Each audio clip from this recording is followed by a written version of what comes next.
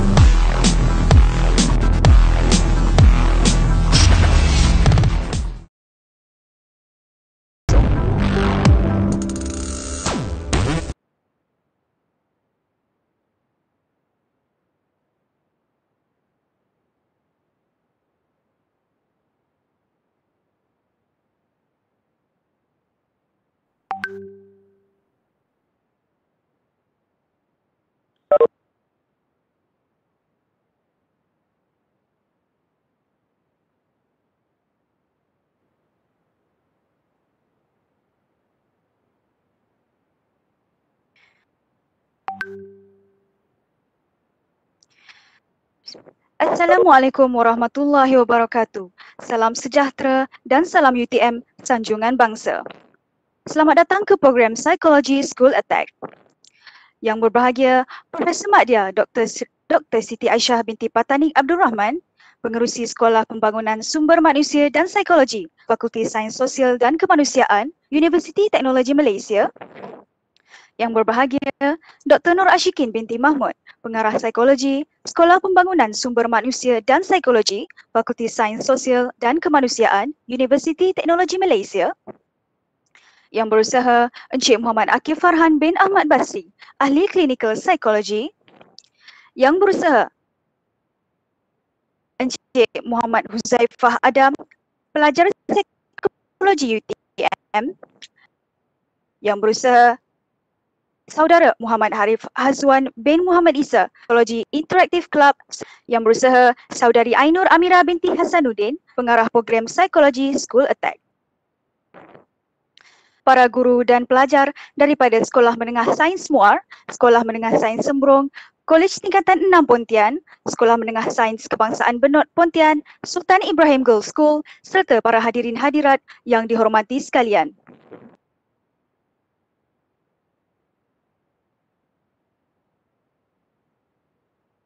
Lebat kemiri, pohonnya rendah, dahan terikat, tali perkasa. Sepuluh jari, kami menadah, memohon berkat yang Maha Esa.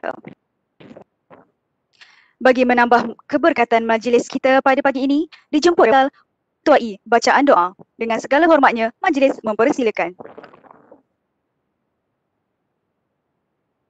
Assalamualaikum warahmatullahi wabarakatuh.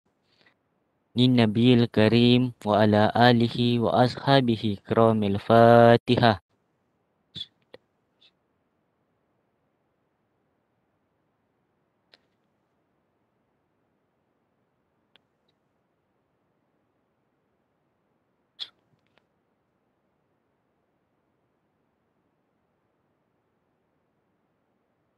وقال ربكم ادعوني استجب لكم اعوذ بالله السميع العليم من الشيطان الرجيم بسم الله الرحمن الرحيم الحمد لله رب العالمين والصلاة والسلام على سيدنا محمد وعلى آله وصحبه أجمعين Ya Allah, Ya Tuhan kami dengan sifat-sifat keagungan serta kebesaranmu pada pagi yang penuh keberkatan ini bersempena dengan psikologi school attack kami sekalian hambamu ya Allah merafak dengan penuh rendah diri agar engkau curahkan nikmat yang berterusan kepada kami. Kurniakanlah petunjuk kepada kami dalam mencapai keredaanmu. Ya Allah, jauhkanlah kami dari ujian mara bahaya, ampunilah dosa kesalahan kami, kukuhkan perpaduan serta muhibah antara kami yang tinggal di dalam sesebuah negara yang berbilang kaum ini. Ya Rahman, Ya Rahim, tanamkanlah sifat-sifat terpuji dalam diri kami agar budaya kerja berkualiti menjadi amalan kami dan supaya kami sentiasa berusaha melakukan penambahbaikan dalam kerja seharian demi kemajuan organisasi, masyarakat, agama dan negara. Engkau sematkanlah ke dalam diri kami, Ya Allah, rasa tanggungjawab atas setiap tugas yang diamanahkan kepada kami untuk dilaksanakan. Ya Zal Jalali wal Ikram, kurniakanlah apa kiranya kepada kami kesihatan anggota, kecergasan minda, ketenangan jiwa dan kekuatan semangat. Semoga dengannya kami mampu mendepani cabaran, berdaya saing, mampu mengangkat martabat diri, keluarga, masyarakat, agama dan negara. Allahumma ja'al jam'ana haza jam'an marhuma wa tafarraqna min ba'dihi tafarraq ma'suma ولا تجعل اللهم فينا و... ولا معنا ولا من يتبعنا شقيا ولا مدرودا ولا محروما اللهم اغفر لنا ذنوبنا ولإخواننا الذين سبقونا بالإيمان ولا تجعل في قلوبنا غلا للذين آمنوا. ربنا إنك رؤوف رحيم. ربنا آتنا في الدنيا حسنة وفي الآخرة حسنة وقنا عذاب النار وقنا عذاب النار وقنا عذاب النار. وصلى الله على سيدنا محمد وعلى آله وصحبه وسلم. والحمد لله رب العالمين.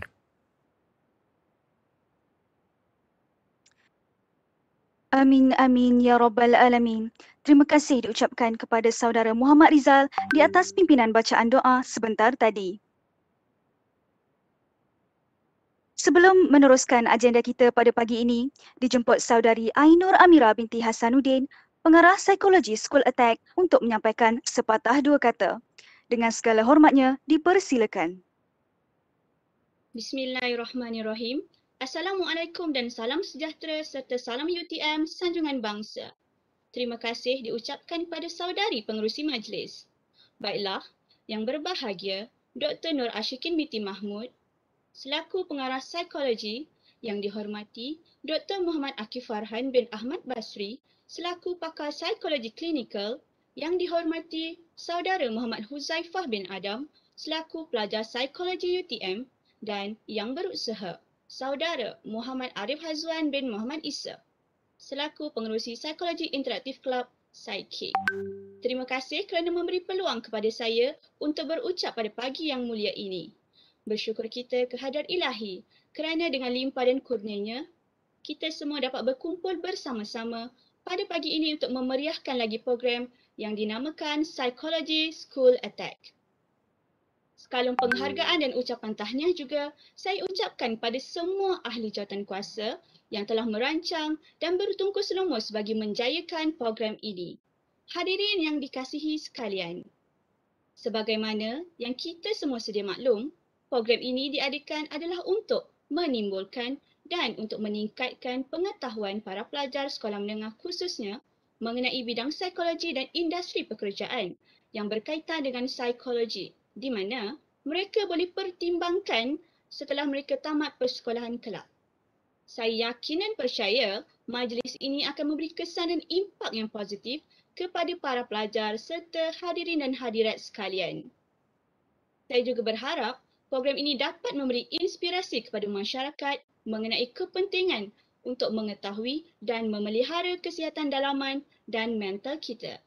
Akhir kata, sebelum saya mengundurkan diri, saya ingin mengucapkan tahniah kepada semua yang telah terlibat secara langsung dan tidak langsung dalam menjayakan program ini. Saya berharap agar program ini akan berjalan dengan lancar dan dapat memberi manfaat kepada semua. Saya juga ingin memohon maaf sekiranya terdapat kekurangan sepanjang program ini berlangsung. Sekian saja daripada saya. Terima kasih. Assalamualaikum. Terima kasih diucapkan kepada saudari Ainur Amira binti Hasanuddin di atas kata-kata yang cukup memberangsangkan sebentar tadi. Bukan rumput sebarang rumput, rumput penghias tepi halaman. Bukan jemput sebarang jemput, jemput memohon, kata Alwan. Majlis terus menjemput yang berbahagia Dr. Nur Ashkin binti Mahmud untuk menyampaikan ucapan beliau dan seterusnya merasmikan program Psychology School Attack. Dengan penuh takzimnya, mempersilakan. Assalamualaikum. Terima kasih uh, saudari uh, saudari Farisa. Assalamualaikum. Uh, Bismillahirrahmanirrahim. Yang berbahagia Dr. Siti Aisyah binti Panatik selaku pengurusi Sekolah Pembangunan Sumber Manusia dan Psikologi. Yang dihormati uh, Dr. Muhammad Akif Farhan bin Ahmad Basri, pakar psikologi klinikal. Yang dihormati Saudara Muhammad Huzaifah bin Adam, pelajar psikologi UTM our senior students eh, yang berusaha saudara Muhammad Arif Azwan bin Muhammad Isa, pengurusi psikologi interaktif club known as Psychic yang berusaha saudari Ain Nur Amira binti Hasanuddin, pengarah program psikologi School Attack. Barisan jawatan kuasa, tetamu-tetamu kehormat, pelajar-pelajar dan para hadirin yang dikasihi sekalian. Assalamualaikum warahmatullahi dan salam sejahtera. Okay, Alhamdulillah pada pagi yang indah ini eh, dan berkat in, dan barakah ini marilah kita mengambil kesempatan untuk memanjatkan kesyukuran kehadrat Allah sallallahu alaihi wasallam kerana memberi kesempatan kepada kita untuk mengadakan Psychology School Attack pada hari ini. Di kesempatan ini saya ingin mengucapkan terima kasih atas jemputan bagi merasmikan program Psychology School Attack pada hari ini Sekalung tahniah diucapkan kepada ahli-ahli jawatan kuasa yang telah bertumpul lumus untuk menjayakan program yang dirancang pada hari ini. Hadirin yang dihormati sekalian, saya juga ingin mengucapkan syabas dan terima kasih kepada semua guru dan para sekolah menengah eh, kerana sudi terlibat dan melapangkan masa bagi menghadirkan diri untuk menyertai program ini. Uh, for everyone information, uh, I'm an uh, SIGS alumni and I'm very proud today that uh, we have um, a representative daripada uh, sekolah SIGS uh, insyaAllah. Eh. Kesudian pada guru dan, dan pelajar dalam menyertai program ini secara tidak langsung telah membawa kepada kelancaran untuk program ini. Uh, untuk pengetahuan semua, program psikologi Sekolah ini merupakan salah satu inisiatif yang baik bagi meningkatkan pemahaman di kalangan pelajar sekolah menengah mengenai bidang psikologi dengan mengadakan sesi forum untuk mengenangi, menangani stigma dan salah faham yang sering dikaitkan dengan psikologi. Program ini juga memainkan peranan penting sebagai salah satu cara untuk menimbulkan minat para pelajar untuk menyambung pengajian dalam bidang ini. Uh, in other words that we can say that to know psychology is to love psychology and to love you more. Uh, dan ini adalah sangat penting eh. Um, dan sebagai salah seorang uh, pensyarah psikologi and uh, to me this is very very important. Psikologi adalah segala-galanya. Psikologi bermaksud mengenali diri sendiri, uh, your own behavior and your mental processes. Um, dengan uh, mengetahui lebih banyak pada diri uh, diri sendiri, kita juga dapat mengetahui tentang orang lain, tentang persekitaran. Uh, the scope sangat-sangat luas dan sebagainya dan saya rasa pelajar-pelajar uh, sangat beruntung eh, kerana telah dijemput untuk menghadiri dan menjayakan program hari ini. Dan saya berharap sangat-sangat semua pelajar akan mengambil kesempatan ini untuk bertanya soalan dan uh, cuba menghayati uh, psikologi dan pada masa yang sama um, diharapkan uh, yang kita akan berjumpa insyaAllah pada masa hadapan. Uh, in two years time maybe uh, say hi to me. Uh, you know that doctor I enjoy uh, I join the program. Uh, if ada rezeki, ada jodoh, kita akan berjumpa dan uh, yes, to love psychology is to know psychology, right? Uh, that's the things actually. Okay, akhir kata sebelum saya mengundur diri, saya ingin mengucapkan setinggi-tinggi penghargaan dan tahniah kepada ahli-ahli jawatankuasa pelaksana program dan semua pelajar yang terlibat secara langsung ataupun tidak langsung atas kerjasama dan komitmen yang diberikan sepanjang tempoh menjayakan program ini. Um, my psychology student is the best and you all also are the best. So remember that and we love you very much actually. Dengan lafaz yang mulia, Bismillahirrahmanirrahim, saya dengan ini merasmikan program psikologi School Attack. Sekian, wabillahi taufiq wal hidayah. Wassalamualaikum warahmatullahi Jutaan terima kasih diucapkan kepada Dr. Nur Ashiki binti Mahmud di atas ucapan yang disampaikan sebentar tadi. Hadirin hadirat yang dihormati sekalian, tak molek jika ada alu, tiada lesungnya. Tak berguna jika ada dayung, tiada perahunya. Tak berkat ilmu, tanpa amalnya. Tak lengkaplah majlis jika tak ada yang berbicara. Majlis diteruskan lagi dengan sesi forum yang bertajuk Break the Stigma yang akan dipengerusikan oleh Yang Berusaha Saudara Yazid, pelajar psikologi UTM sebagai Tuan Moderator. Dengan segala hormatnya, saya menjemput Tuan Moderator dan para panelis untuk meneruskan agenda kedua kita pada pagi ini. Dengan segala hormatnya, majlis mempersilakan.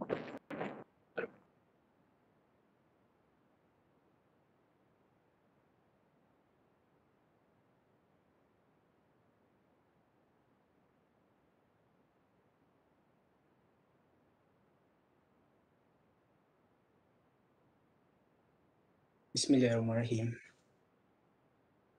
Jauh di mata tapi masih dapat bersama.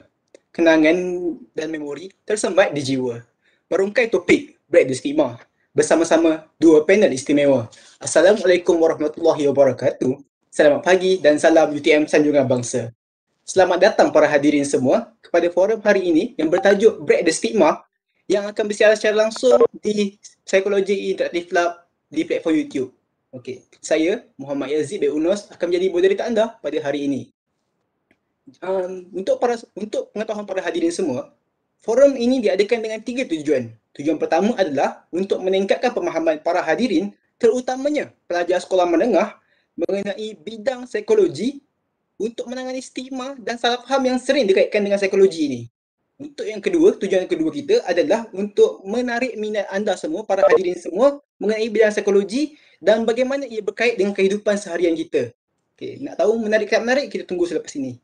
Untuk yang ketiga, kita ingin mahu meningkatkan pengetahuan pelajar, sekolah pelajar dan juga para hadirin mengenai bidang kerjaya dan industri pekerjaan yang berkait dengan bidang psikologi ini terutamanya untuk mereka yang mahu menamatkan zaman persekolahan dan mahu mempertimbangkan mana ke arah uh, hala tuju hidup mereka.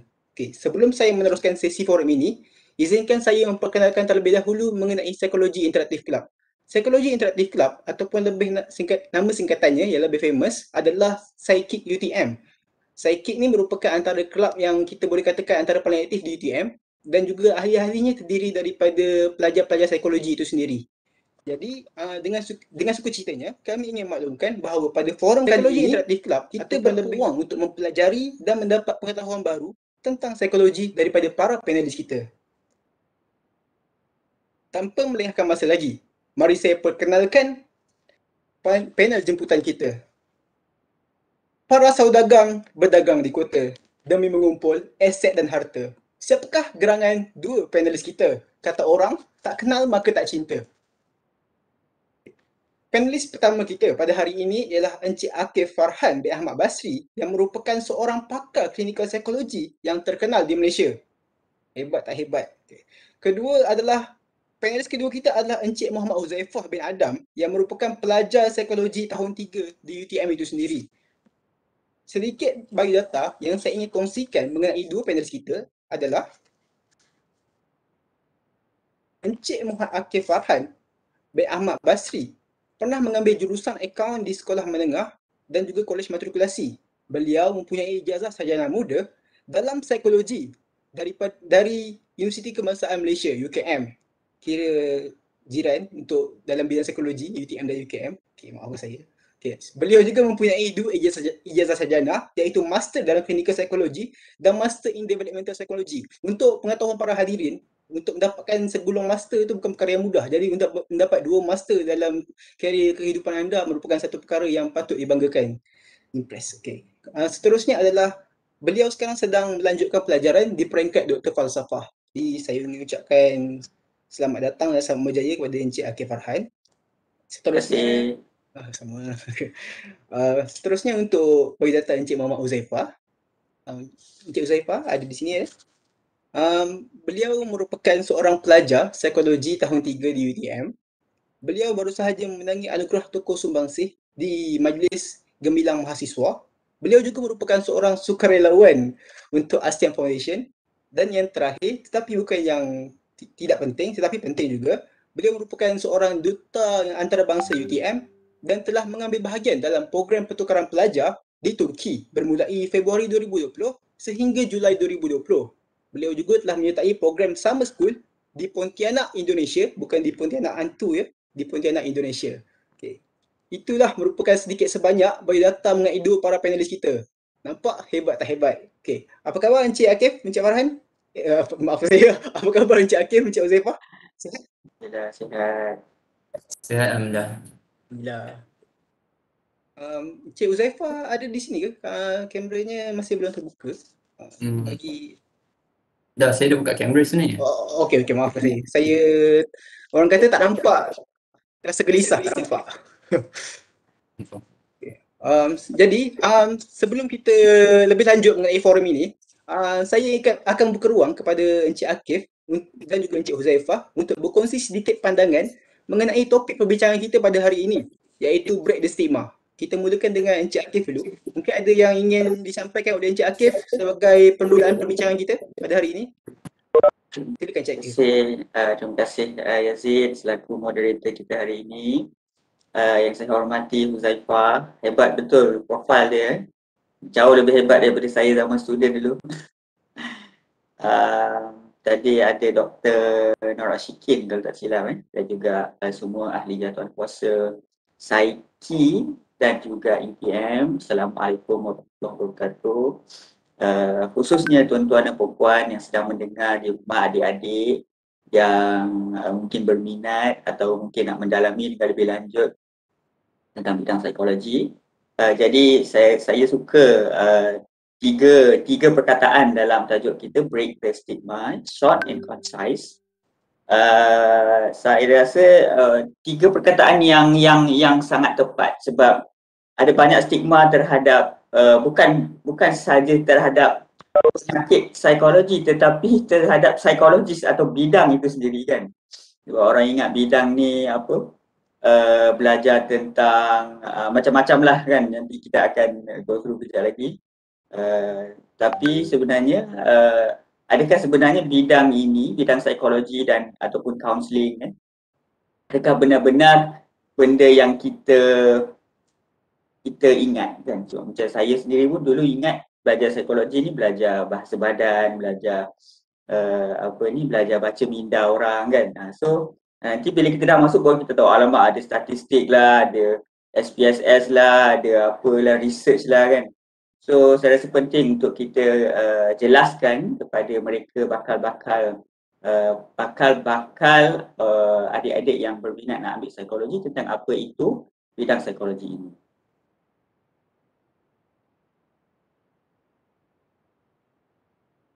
Terima kasih Encik Akif. Uh, Encik Zaifah, apa pendapat Encik mengenai topik hari ini? Um, terima kasih saudara Yazid, uh, saudara Cik Akif. Uh, jadi uh, pada pendapat saya tentang topik hari ini tentang break the stigma, memang topik ini berpatutan lah seperti yang Cik Akif katakan. Memang uh, tak disangka lagi lah pada zaman kali ini kita ni manusia ni dia suka menggelompokkan orang. Jadi kita kan tahu yang semua individu ni uh, unik dan ada ciri-ciri personality yang sendiri. Tapi kita semua suka lamsamkan orang tu. Macam contohnya macam kalau aku boleh handle ni, kenapa kau tak boleh handle? Ha, inilah antara-antara stigma-stigma yang selalu berada dalam fikiran manusia zaman sejagat sekarang ni. Jadi saya rasa untuk membawakan topik Break the Stigma hari ini memang sangat berpatutan lah dengan peredaran zaman ni sekarang ni. Itu saja dari saya. Terima kasih Encik Azim. Terima kasih kepada kedua-dua para panelis kita iaitu Encik Akif dan Encik Uzaifah. Apa yang saya boleh rumuskan daripada um, jawapan pen, para panelis kita adalah tajuk topik the Stigma ni adalah sangat penting untuk pengetahuan para generasi-generasi sekarang. Uh, terutamanya daripada saya ambil saya suka ambil uh, point daripada Encik Uzaifah tadi. Ayat dia agak unik menggelompokkan orang uh, dia kata. Uh, saya rasa mungkin jika kata nak satu grup salah segelintir masyarakat tu yang suka uh, suka mengikut stigma tanpa uh, suka judge orang macam ikut stigma lah. Nanti untuk apa kita kita tunggu selepas ini okey? Um, sebelum kita membahas perbincangan kita dengan lebih mendalam, saya ingin saya ingin ingatkan, suka saya ingatkan kepada para hadirin semua bahawa di akhir hujung forum kita ini saya akan membuka ruang kepada para hadirin untuk mengajukan pertanyaan melalui ruangan ruangan link yang telah diberi yang akan diberikan oleh para kru di ruangan komen nanti. Sekiranya ada ada pertanyaan, jangan lepaskan peluang ini dan sila tulis soalan anda. Okey, mari kita mulakan dengan soalan pertama kita soalan pertama untuk Encik Akif. Untuk Encik Akif. Okay. Um, apakah perbezaan antara bidang psikologi dan kaunseling kerana ada segelintir sesetengah masyarakat yang masih keliru tentang dua bidang ini. Um, sebagai seorang pelajar psikologi, uh, kami dalam rakan juga selalu terkena dengan uh, stigma ini ya. Uh, belajar psikologi eh. Uh, cuba kaunseling, cuba kaunseling sikit, cuba kaunseling sikit. Okey, apa pendapat encik mengenai jawab, uh, soalan ini? Jawapan encik, silakan soalan pertama yang sangat penting uh, kekeliruan ini bukan hanya dalam kalangan uh, kita sendiri sebagai pelajar kan tetapi juga uh, kalau dekat Malaysia saya rasa dari sudut um, uh, polisi-polisi uh, dan juga dari sudut pemimpin-pemimpin uh, mereka juga masih uh, tertanya-tanya dan masih belum clear bagi saya tentang perbezaan di antara bidang psikologi dan kaunseling. Kenapa saya cakap begitu adalah kerana posisi uh, pegawai psikologi dalam kerajaan eh, sebagai contoh S41 um, posisi itu adalah dinamakan sebagai posisi uh, pegawai psikologi kan dan tak semestinya yang masuk yang yang boleh uh, apply adalah uh, yang dapat posisi itu adalah uh, apa ni daripada bidang psikologi. Apa ni graduan-graduan psikologi.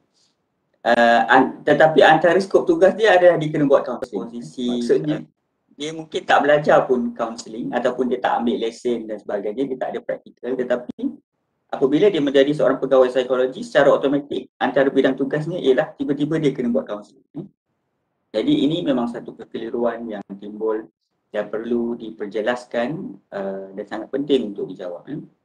Okey.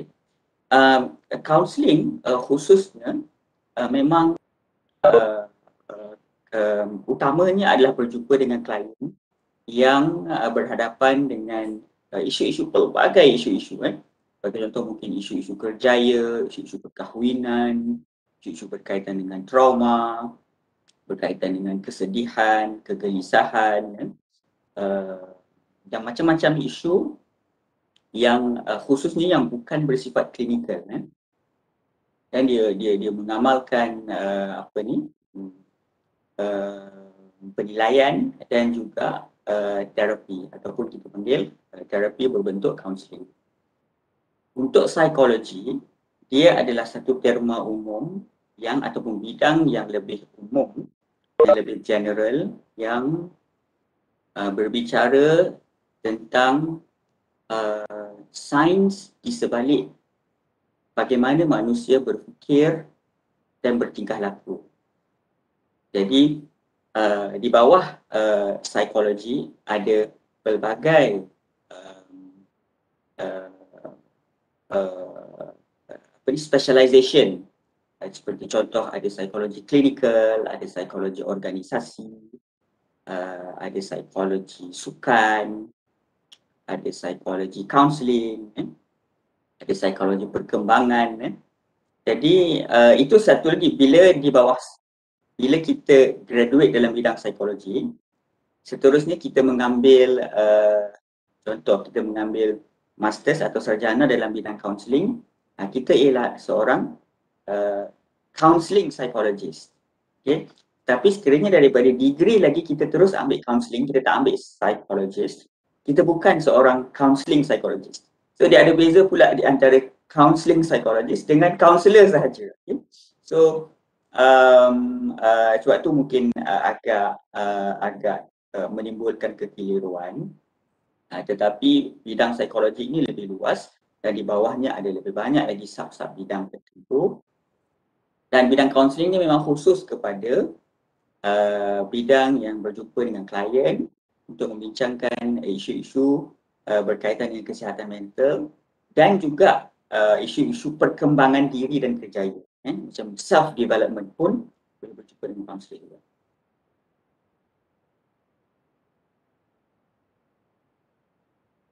Okay, uh, terima kasih kepada jawapan Encik Akif mengenai soalan apakah perbezaan antara bidang psikologi dan kaunseling. Okay. Um, daripada jawapan Encik Akif, uh, dapat saya rumuskan bahawa um, psikologi ini merupakan satu subjek yang lebih general berbanding kaunseling kerana dan juga ia melibatkan uh, sains, teori sains mengenai bagaimana human uh, bagaimana human manusia berfikir dan bagaimana human berting, bertingkah laku, how human behave, how human think. Okay, itulah sains teori mengenai apa itu psikologi. Counselling pula dia lebih bukan bersifat klinikal dan lebih kepada terapi dan juga uh, penilaian. Itu adalah counselling. Jadi uh, di situ kita dapat lihat perbezaan antara bidang psikologi dan counselling menurut uh, jawapan Encik Akif. Seterusnya kita akan uh, ajukan pertanyaan kepada Encik Huzaifah untuk uh, merungkai lagi topik kita pada hari ini. Okey, untuk Encik Huzaifah, um, apakah aliran ataupun kriteria yang perlu dicapai oleh pelajar yang ingin sambung pelajaran uh, ke dalam bidang psikologi ini? Apakah yang kita perlu lakukan macam untuk para hadirin yang mahu menyambung pelajaran? Okey, silakan Encik Huzaifah. Um, terima kasih Cik Aziz. Uh, jadi untuk soalan Cik Aziz, kalau saya rungkaikan semula dan uh, Cik Aziz punya soalan tanya tentang aliran apa yang pelajar-pelajar ni perlu ambil kalau nak meneruskan pelajaran dalam bidang psikologi. Um, sejujurnya, tiada aliran yang rasmi yang semestinya macam technical-technical science seperti macam engineering yang you mesti ada background science tulen lepas baru you boleh ambil. Untuk psikologi ni dia lebih fleksibel. Uh, macam Cik Akif sendiri datang daripada background accounting, saya pula datang daripada background science student. Cik Aziz rasanya saya datang daripada dari mana Cik Aziz? Cik Aziz datang daripada account science student juga ya? uh, jadi kami ni datang daripada pelbagai latar belakang yang berbeza sebenarnya. Uh, dan tak ada satu memang exact kenapa you kena ambil aliran sains baru you boleh ambil psikologi. Uh, tak ada macam itu. Um, sebagai contoh, masa saya uh, di sekolah menengah, saya mengambil aliran sains student tapi bila saya masuk ke matrik, saya rasa macam saya nak ambil accounting pula. Lepas tu saya ambil accounting. Dan bila masuk universiti, saya rasa saya nak ambil psikologi juga. Lepas tu, lepas tu saya pindah ke psikologi. Jadi nampak macam pindah-pindah sebab uh, psikologi ni dia fleksibel. mungkinlah uh, mungkin kalau kita ni datang bukan daripada background sains mungkin ada sikit kesukaran dalam dalam subjek seperti abnormal psychology ke biological psychology ke. Tapi tak adalah sukarnya yang seperti terus tak boleh handle. Dia boleh lagi maksudnya boleh lagi lah. Dalam rangkuman juga. Uh, ada juga daripada kawan saya datang daripada aliran sastra juga.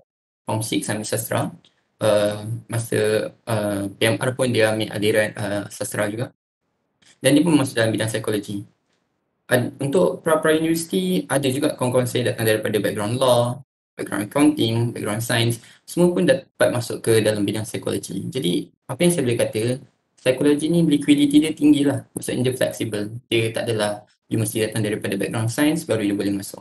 Ada juga kawan saya, ini contoh terakhir lah, kawan saya datang daripada diploma yang bukan dalam bidang psikologi pun. Ada yang datang daripada background biomedik, ada yang datang daripada background science computer, Maksudnya memang bukan bidang psikologi tapi boleh masuk ke bidang psikologi. Cuma tak boleh transfer kredit dan sebagainya lah. Dia kena start 4 tahun daripada awal.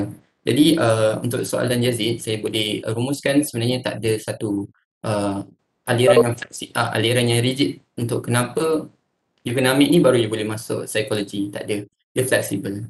Okay, terima kasih Yazid. Harap tu menjawab soalan. Okay, uh, terima kasih untuk, untuk jawapan Cik Huzaifah bagi saya dia menjawab soalan uh, daripada jawapan Cik Uzaifah dapat saya rumuskan bahawa sebenarnya uh, fleksibel ya untuk para hadirin semua yang mahu menyambung pelajaran dalam bidang psikologi ini tidak kira anda daripada jurusan apa ataupun daripada bidang apa sains sulen sastra ataupun mana-mana lagi uh, anda boleh uh, jika anda minat anda boleh cuba untuk menceburi bidang psikologi ini dan uh, terima kasih kepada kawan-kawan Huzaifah yang ramai sehingga mampu memberi jawapan ini ya Okay. Uh, untuk uh, kita beralih kepada kepada Encik Akif.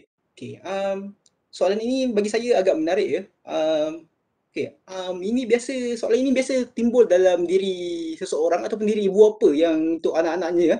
Okay. Apakah kerjaya yang dapat dilakukan oleh para graduan psikologi di luar sana? Silakan Encik Akif.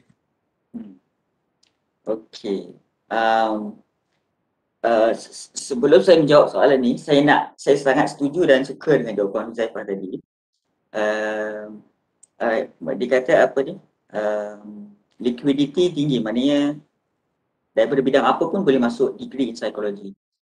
Tetapi uh, dia menjadi semakin sukar daripada degree nak masuk masters. Ha, okay? Daripada degree nak masuk masters nanti, dia lebih ketat. Maksudnya untuk kita uh, ada masters dalam psikologi klinikal ke, counselling ke, perkembangan ke, uh, uh, khususnya klinikal, eh, khususnya klinikal sebab saya klinikal, dia mesti kena ada certain subjek psikologi yang kita pernah ambil.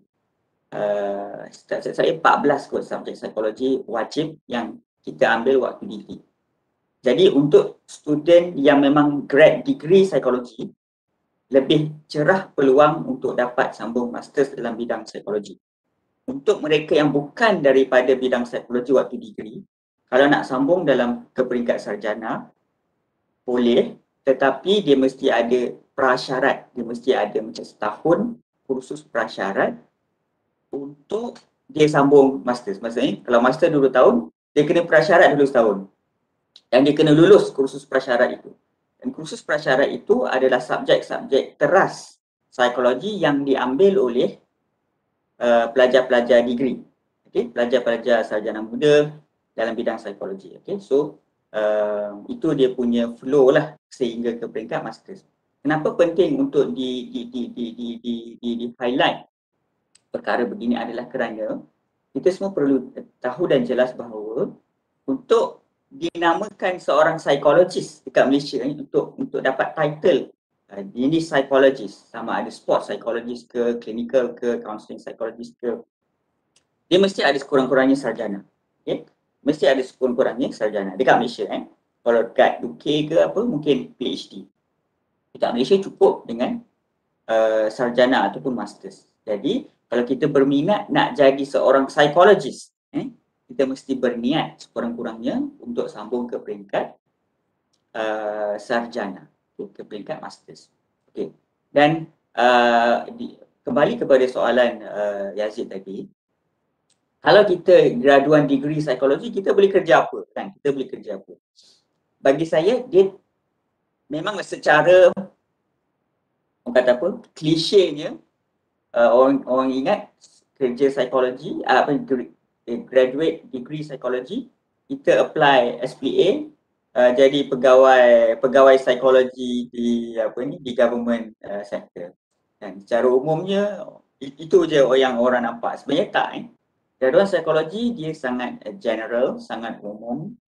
Ramai kawan-kawan saya yang tak sambung masters pun tapi cukup dengan uh, degree.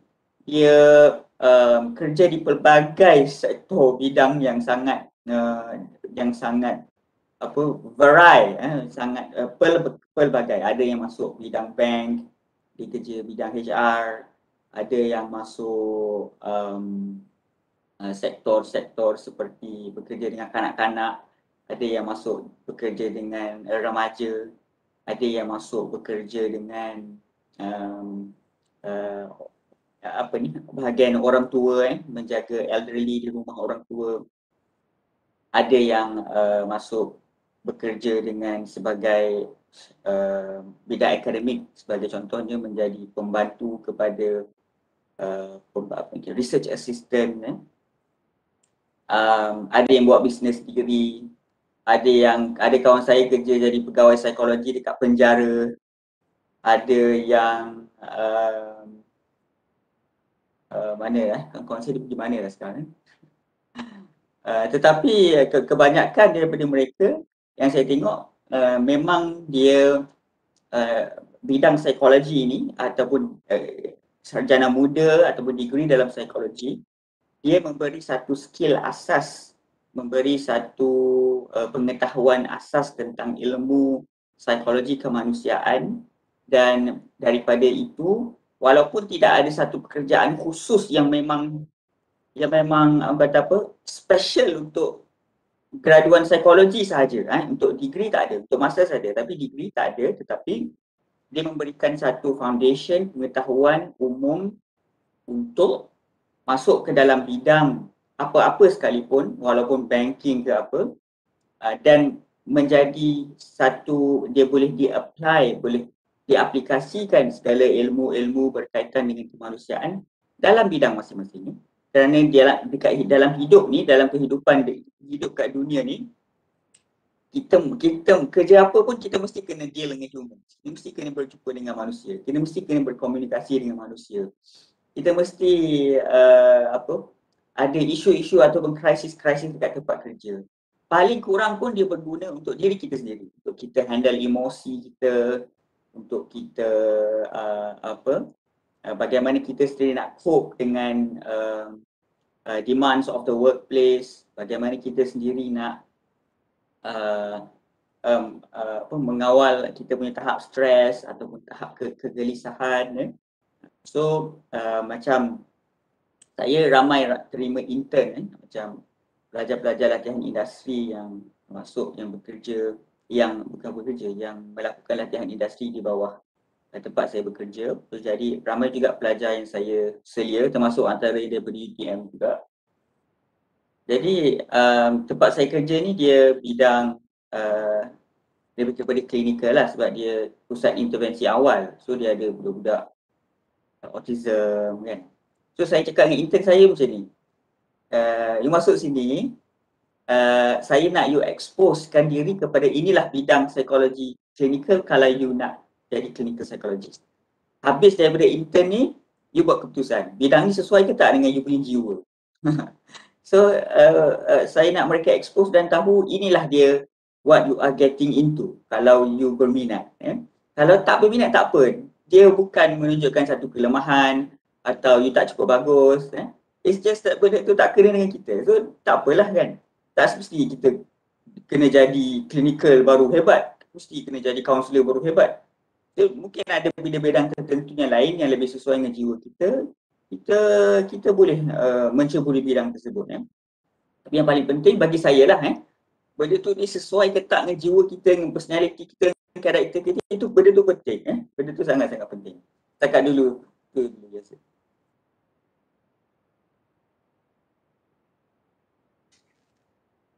Terima kasih atas jawapan Encik Akif. Um, bukan sahaja Encik Akif memberi jawapan uh, mengenai soalan berkenaan dengan soalan saya tetapi uh, Encik Akif juga sedikit sebanyak menerangkan mengenai flow bagaimana untuk para ijazah para graduan psikologi untuk menyambung ke sarjana dalam psikologi ataupun dalam lain-lain bidang yang berkenaan dengan psikologi lah. Terima kasih. Um, apa yang boleh saya rumuskan daripada jawapan Encik Akif tadi? Um, beliau mahu menerangkan bahawa apa yang paling penting sekali dalam graduan dalam seorang graduan dalam bidang psikologi mempunyai foundation untuk um, untuk apa-apa bidang yang yang berinteraksi ataupun berkomunikasi dengan manusia kerana dalam bidang ini kita belajar macam mana kita nak interact how we deal with human okay? jadi kita belajar bagaimana cara untuk kita handle stress macam mana kita nak meet dengan um, uh, apa kita panggil uh, pencapaian ataupun apa-apa lah uh, expectation daripada orang terhadap kita sendiri. Jadi kita belajar macam mana untuk kita lakukan semua itu. Jadi antara contoh-contoh yang Encik Akif bagi tadi adalah um, jadi pakar dalam bidang kanak-kanak macam di pusat-pusat autism seterusnya academician research assistant. Uh, itu merupakan uh, siapa yang suka handle dengan data SPSS semua tu uh, boleh apply benda tu ataupun yang terakhir adalah pegawai psikologi di sama ada di bidang swasta ataupun di bidang kerajaan Uh, last but not least, uh, saya ada tertarik dengan satu statement Cik Akif tadi mengenai salah seorang rakan kita yang sedang melakukan latihan industri di tempat Cik Akif. Kalau saya tidak silap, uh, Atirah, betul ke Cik Akif? Okay, Atirah. Uh, untuk pengetahuan Cik Akif, Atirah merupakan seorang pelajar yang cemerlang ya daripada uh, lulusan UTM sendiri. Okay, jadi uh, harap Encik Akif layan dia dengan baik. Okey. Okey. Um, kita akan uh, beralih soalan kepada uh, Encik Huzaifah pula. Okey, kembali kepada Encik Huzaifah. Um, apakah yang kita akan pelajari dalam bidang ini? Apa yang kita akan belajar? Melalui pengalaman dan uh, pengalaman Encik Huzaifah, boleh Encik Huzaifah kongsikan apa yang kita akan belajar dalam bidang ini? Silakan. Okay, sudah tentunya boleh Cik Azin. Uh, saya sangat gembira bila Cik Akif cerita tentang ada pelajar LI. Jadi saya pun dalam tengah cari tempat intern ni. dah dah dah. Gurau-gurau saja. Uh, okay. Okay, jadi saya akan cerita, uh, saya berminat nak kongsi sikit kenapa awalnya saya minat untuk masuk bidang psikologi. Boleh eh? sebelum saya masuk ke soalan Cik Yazid apa yang saya belajar. Jadi asalnya saya sebenarnya adalah satu orang yang lepas masa matrik tu, saya macam tak ada hal tuju tau saya macam tak ada preference apa sebenarnya saya nak buat kan. Jadi cara yang saya ambil adalah cara yang sangat mudah. Apa yang saya buat, saya pergi ke Google, saya search kat Google kerja yang akan melambatkan kerja pada tahun 2023. Saya search macam itu saja. Kerja yang paling atas adalah psikologi. Jadi benda ni saya rasa saya terus okey dan kenapa tak kan saya bincang keluarga saya, keluarga saya kata okey, kenapa tak pula. Jadi saya masuk bidang psikologi. Dan saya rasa market psikologi kat Malaysia ni telah naik meningkat secara mendadak. Kalau kita tengok uh, bajet tahun 2021 pun sekarang dia dah allocatekan bajet memang special untuk mental health. Jadi uh, kira saya punya apa tu keputusan untuk Google hari tu tu memang uh, mendatangkan hasil lah kan. Okay, jadi uh, saya nak masuk ke apa yang soalan Cik Aziz. So Encik Yazid, uh, apa yang saya belajar? Uh, masa saya masuk psikologi ni, saya selalu dapat persepsi atau stigma-stigma yang cakap, oh ni mesti boleh baca fikiran kan? Oh ni mesti uh, tahu ni apa aku fikir ni. Eh, ni mesti tengah baca otak aku ni. Uh, tapi sebenarnya kita tak belajar pun benda tu dalam bidang psikologi. Itu yang pastinya. Uh, apa yang saya tahu lepas saya belajar selama 4 tahun sebenarnya Cik Aziz bukan 3 tahun ya. Uh, psikologi ni dia ada pelbagai cabang dia ada pelbagai cabang. Jadi uh, contohnya stigma orang selalu fikir bila kita cakap pasal psikologi, semua orang akan ingat oh clinical psychology, clinical psychology. Tapi sebenarnya tak, ada banyak lagi cabang lain macam Cik Atu sendiri ada master dalam developmental psychology. Ada forensic psychology, ada child psychology, ada sekarang ni pun psikologi yang baru daripada baru saja uh, positive psychology. Jadi sebenarnya psikologi ni ada pelbagai bidang, ada pelbagai cabang dia sebenarnya. Jadi uh, bila kalian bila lah katakanlah kalian masuk ke degree yang psikologi kalian akan belajar semua bab ni secara general. Jadi untuk lebih specialization kena sama ke master lah macam Cik Akif pernah terangkan tadi. Tapi bila masuk ke degree dia akan belajar semua bidang-bidang ni secara general saja. Uh, sebenarnya kalau saya nak cakap secara dalam dari bentuk technical apa yang kita akan belajar untuk mungkin masa tahun satu, tahun dua kita akan belajar banyak tentang teori. Kita akan belajar teori uh, psychoanalysis, kita daripada Sigmund Freud, kita akan belajar tentang Erik Erikson punya teori dan kita akan belajar pasal uh, uh, teori-teori ni dan kita tengok cara kenapa teori ni ada dan apa cara kegunaan dia masa yang lepas. Jadi apa yang kita fokuskan pada masa tahun satu, tahun dua tu mungkin kita lah fokuskan kefahaman kita tentang teori-teori ni dan kita tengok background uh, uh, tokoh-tokoh tu kenapa tokoh-tokoh ni berfikir macam itu kenapa uh, kenapa Sigmund Freud fikir macam itu? Kenapa teori dia macam itu? Jadi untuk tahun satu dan tahun dua saya rasa kita lebih menghadamkan teori-teori asas ni. Uh, tahun tiga kita mulakan um, meninjau kepada research methodology. Start belajar tentang basic-basic research. Start belajar tentang pemahaman. Uh, dan saya rasa untuk subjek psikologi ni dia adalah by stage sebenarnya. Awal-awal tu untuk you macam menghafal sikit, lepas tu you menghafal, lepas tu you aplikasikan, lepas tu atas lagi sikit you cuba buat konklusi daripada uh, you punya pandangan sendiri. Macam itu kan. Um, sikit saya nak promosikan sikit sebab UTM ni dia agak unik sikit sebab dia ada major dan minor. Major dia dalam psikologi dan minor kita semua adalah dari uh, human resource development.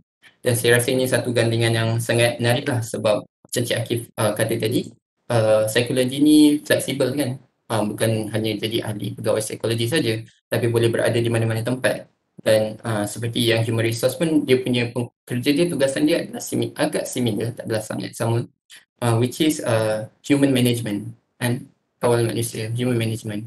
Jadi uh, jadi sebab tu saya rasa UTM ni course yang dia offer sangat menarik iaitu dengan ada minor HRD jadi itu sikit sebenarnya untuk mempromotkan UTM lah ya Cik Aziz kan tumpangnya sedingan sekian terima kasih. Okay, uh, untuk untuk selingan tu Cik Uzaifah kena bayar. Berapa saja. Okay, um, daripada jawapan yang Cik Uzaifah cakap tadi, uh, pertama sekali beliau berkongsi mengenai pengalaman beliau mengenai mengapa beliau memilih bidang psikologi ini. Antara jawapan yang beliau berikan adalah kerana lambakan kerja um, dan juga beliau seperti ahli politik je tadi berbincang mengenai bajet untuk mental health. Okay, agak menarik. Jadi untuk para hadirin semua jangan risau kerana uh, bidang ini masih banyak terbuka untuk anda jika anda mahu uh, memilih bidang ini sebagai uh, hala tuju dalam hidup anda. Jadi apa yang kita akan belajar dalam bidang psikologi ini? Pertama sekali uh, kita akan belajar mengenai asas-asas teori-teori yang Encik Uzaifah berikan tadi seperti um, Sigmund Freud, Erik Erikson, B.F. Skinner, uh, Thorndike semua tu itu adalah teori-teori yang kita akan belajar. Dan seterusnya adalah fasa untuk kita aplikasikan apa yang kita lakukan itu dalam subjek seperti research methodology. Itu semua adalah mengenai pemahaman dan macam mana kita mengaplikasikan uh, apa yang kita dah belajar tu semua. Dan seterusnya kita akan mengkonklusikan sendiri. Saya rasa apa yang Encik Uzaifah sampaikan itu apa yang kita katakan mengkongsikan itu sendiri adalah seperti kita akan lakukan FYP uh, kita kena buat kita punya research sendiri dan kita concludekan sendiri betul ke Uzaifah? Sila ah, betul. Betul, betul, okay. betul, betul Cik Aziz. Terima kasih. Okay. Um, terima kasih Encik Uzaifah. Um, seterusnya kita akan beralih kepada uh, Encik Akif. Okay, soalan ini juga saya rasa uh, sangat menarik ya. Okay, um, apa pendapat Encik mengenai masyarakat yang berfikir bahawa bidang ini um, ada stigma seperti uh, boleh membaca bidang psikologi, uh, maaf saya, uh, belajar bidang psikologi ini boleh membaca fikiran orang lain, stigma-stigma mengenai ini. Seperti contohnya, uh, oh belajar psikologi ya, oh ni ni muka macam ni, ah, ni mesti fans Liverpool kan, muka macam noob sikit, ah, ni muka sendu-sendu, ah, ni banyak tengok drama Korea semua tu. Okey, stigma-stigma mengenai apa perkara-perkara macam ni. Okey, Encik Akif silakan. Uh, saya tak salahkan uh, masyarakat eh. uh, kenapa mereka berfikiran begitu bagi saya adalah saya rasa lah antaranya kerana media memaparkan banyak cerita-cerita movie-movie yang yang memberi gambaran seolah-olah uh, saya apa ni bidang psikologi ini begitu eh. dan juga uh, saya rasa antara penyumbang kepada uh, pemikiran ataupun salah faham ini adalah apabila wujudnya ahli-ahli yang bukan daripada bidang psikologi yang memberi uh, ceramah-ceramah uh, sebagai contoh menjadi pakar motivasi uh, memberi apa uh, seolah-olah memberi ilmu-ilmu yang seakan-akan nampak macam dari bidang psikologi tetapi sebenarnya bukan. Jadi apabila uh, orang yang bukan daripada bidang psikologi dia uh, me,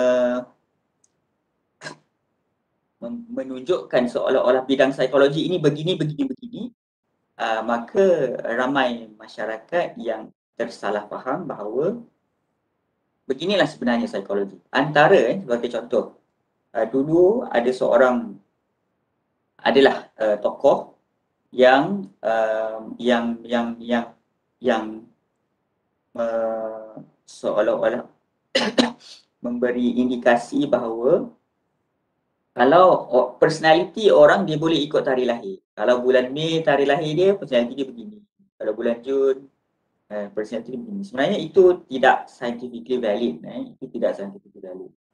Jadi benda-benda beginilah yang yang menyebabkan kita rasa macam kita rasa macam itu psikologi. Kita membesar eh? dalam keadaan memikirkan itulah dia psikologi. Eh? Tetapi sebenarnya bila kita masuk bidang baru kita tahu oh sebenarnya tak, dia lebih kompleks daripada itu. Eh? Jadi uh, bagaimana benda tu boleh wujud bagi saya adalah kerana inilah uh, media dan sebagainya yang tidak memaparkan uh, bidang-bidang uh, ini dengan cara yang paling tepat. Um, uh, uh, apa tadi? Um, so soalan soalan Yazid tadi adalah apa pandangan saya okay, begitu eh. Tapi sebenarnya uh, macam uh, apa ni Huzaifah cerita tadi dia tidak begitu. Eh. Malah macam Huzaifah dan saya sendiri pun eh, kita sendiri pun masuk bidang psikologi dia ni dalam dalam mindset awal macam tu juga kan. Mindset awal mana subjek yang fikir baca fikir baca fikir orang ni eh. Uh, mana dia? Kita tunggu-tunggu mana dia subjek yang baca fikir orang. Tak tak jumpa-jumpa sampai dah hujung semester dah tak tak jumpa-jumpa lagi. Uh, malah eh, saya dalam bidang praktis ni saya dah kerja lebih 4 tahun eh kadang klien pun jumpa saya, dia tak cakap apa pun. Tak cakap apa. dia cakap apa, dia duduk, dia kata, ah, Cik Akif tengok anak saya, Cik rasa, Cik rasa macam mana? Baru sampai 10 saat. Duduk tengok tanya, Cik Akif tengok anak saya, Cik Akif rasa macam? Eh, belum. Saya kena tanya dia dulu buat interview, uh, buat assessment kan. Barulah tahu macam kerja saya ni memang sebab saya kerja dekat pusat intervensi awal jadinya uh, kerja saya memang buat assessment, diagnose dan terapi untuk kanak-kanak yang autism, yang ADHD, yang dyslexia dan sebagainya. Jadi belum belum belum apa-apa lagi ayah dia dah tanya macam tu kan. So terkebil-kebil jugalah saya nak saya nak jawab soalan tu kan. Begitu juga bila saya bagi banyak ceramah-ceramah dekat pelajar lepasan SPM eh, antara soalan yang biasa saya jawab adalah um, uh, bila dia tanya subjek apa yang akan belajar kalau masuk psikologi. So saya jawablah macam Uzaifah jawab tadi. Jadi tanya, yang baca fikiran orang tu subjek apa? Oh, sebenarnya tak ada. Tidak ada subjek yang khusus kepada bagaimana membaca fikiran orang. Eh. Dia jauh lebih kompleks daripada itu. Dan dia memerlukan uh, macam apa ni, uh, uh, pemahaman yang komprehensif tentang seorang manusia dan sebenarnya the opposite the opposite kepada tu maksudnya kita kalau saya saya dapati bila belajar psikologi saya lebih kurang judgemental dan kurang nak menilai kurang nak buat kesimpulan awal berbanding kita terus nak interpret tahu? So dia opposite kepada apa yang saya ingat.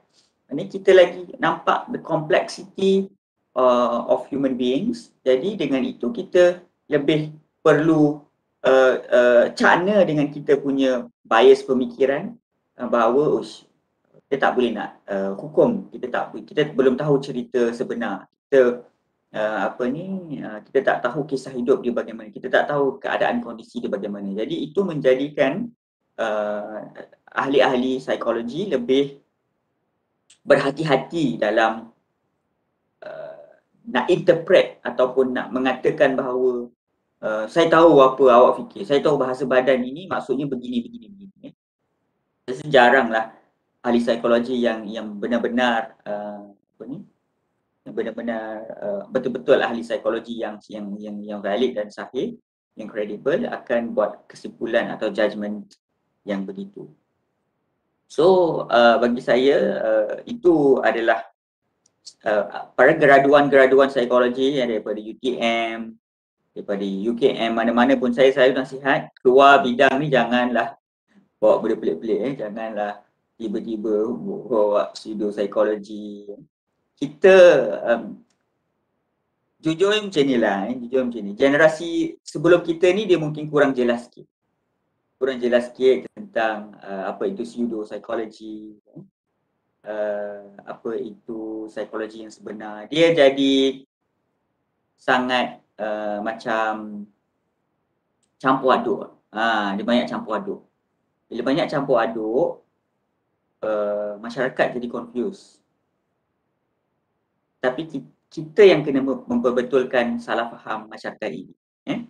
Kita yang kena betulkan yang mana ada bukti, yang mana tidak, yang mana ada apa ni, uh, kajian-kajian yang menyokong, yang mana tidak. Sebab itu penting kita faham research methodology. Eh? Bagaimana untuk menilai sama ada sesuatu itu uh, terbukti ataupun tidak. Setakat dulu. That's it.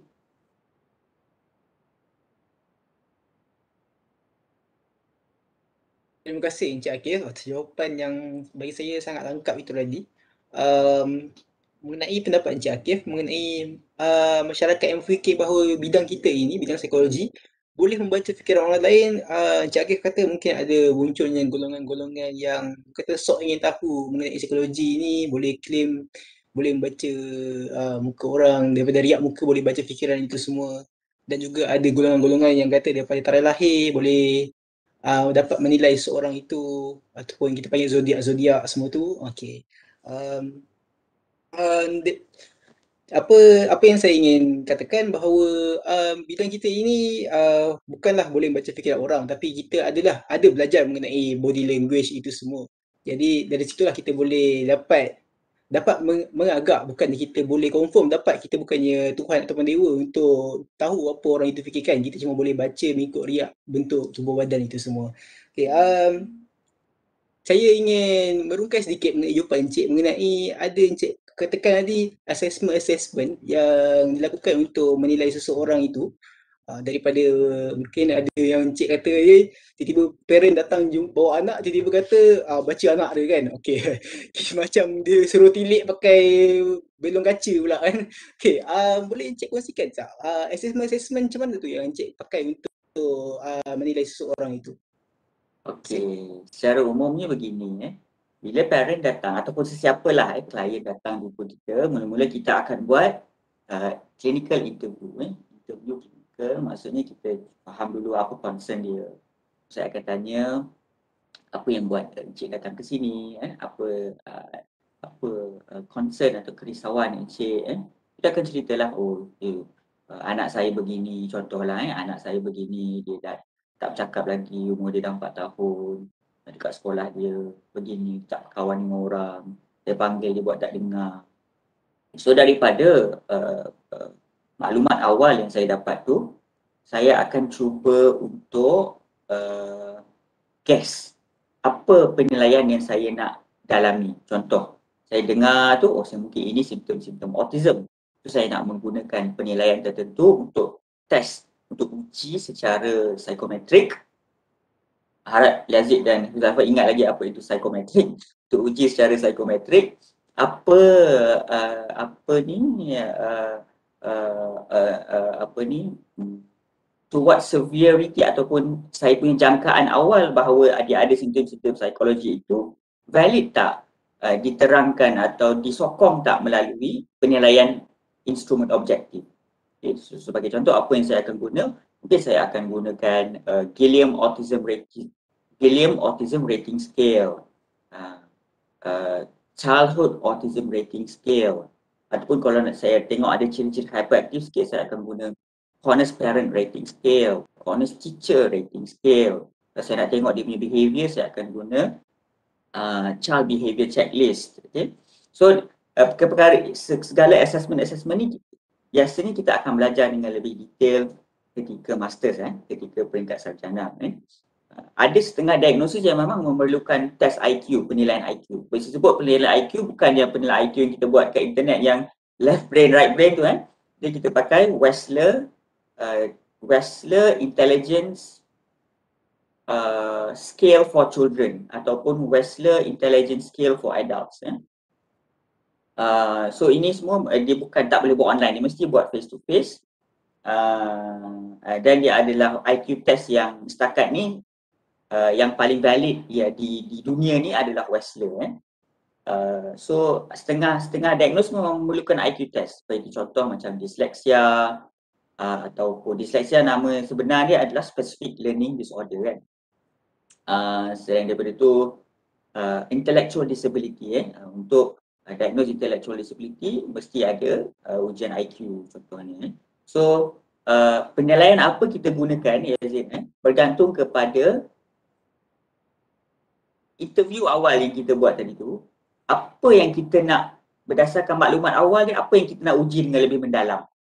Ha, so selepas interview, selepas dah interview, kemudian ada assessment, kemudian saya sendiri spend uh, beberapa sesi dengan uh, klien atau kanak-kanak itu dan saya dapat saya sendi- memerhatikan sendiri bagaimana tingkah laku dia. Seperti contoh saya panggil dia, dia tak pandang mata saya. Ya. So dia tak ada eye contact. Uh, saya tengok dia dengan kanak-kanak lain, uh, dia tak berkawan, dia main dalam dunia dia sendiri. So saya sendiri melihat itu kita panggil behavior observation, tingkah laku, pemerhatian tingkah laku. Kita sendiri melihat bagaimana tingkah laku dia dalam setting-setting tertentu. Kemudian dengan segala maklumat ini, mungkin saya akan dapat maklumat lebih lanjut lagi daripada guru dia, daripada nenek dia, daripada uh, apa ni pembantu rumah ke yang menjaga dia. So bayangkan ni betapa panjangnya nak dapat satu diagnosis tu daripada clinical interview kepada penil, uh, apa ni pemilihan uh, uh, assessment penilaian apa dengan nak dapat maklumat daripada uh, stakeholders yang lain kemudian nak uh, memerhati saya sendiri ada sesi dengan dia untuk melihat baru boleh membawa kepada diagnosis dan uh, formulation of the problem dan kemudian membawa kepada apa terapi-terapi yang sesuai. So uh, dengan kompleks itu uh, bayangkan uh, bezanya dengan orang yang dia tengok sekali dia kata oh ni autism. Oh ini depression. Ini anxiety. Itu adalah uh, tak tidak adil sama sekali kerana prosesnya begitu kompleks dan tidak simplistik.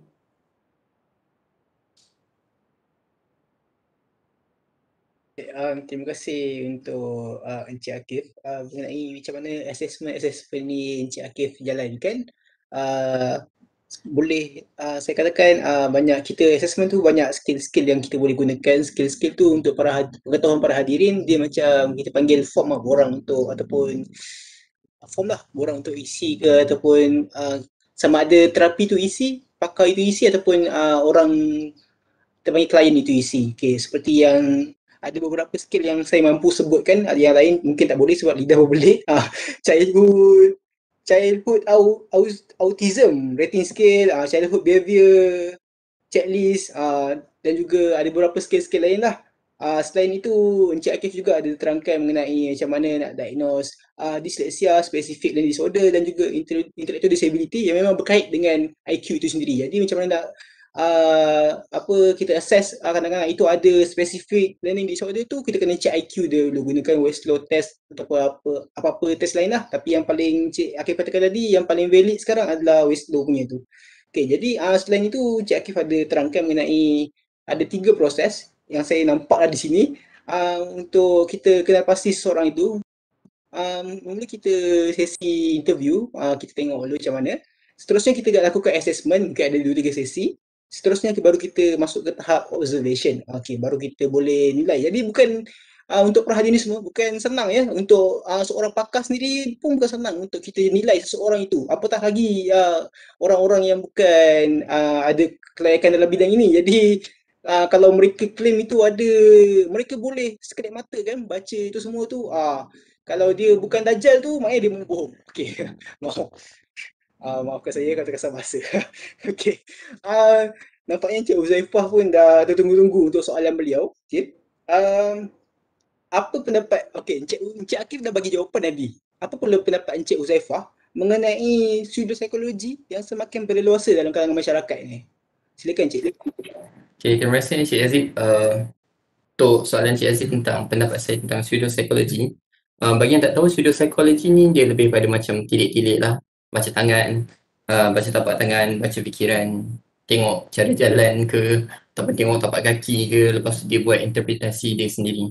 Uh, ni pseudopsychology.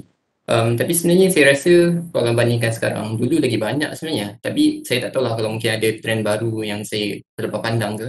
Tapi saya rasa dulu lagi banyak dan saya rasa benda ni uh, melibatkan, sangat melibatkan faktor budaya sebenarnya. Faktor budaya. Um, jadi saya rasa nak komen lebih-lebih pun saya tak tahu sebab budaya masing-masing datang daripada latar belakang yang berbeza kan. Uh, tapi apa yang saya katakan, uh, benda ini macam Cik Akil cakap tadi, untuk kita finalizekan ataupun nak untuk tahu satu masalah tu banyak assessment yang kita boleh kita kena lakukan. Banyak level dia.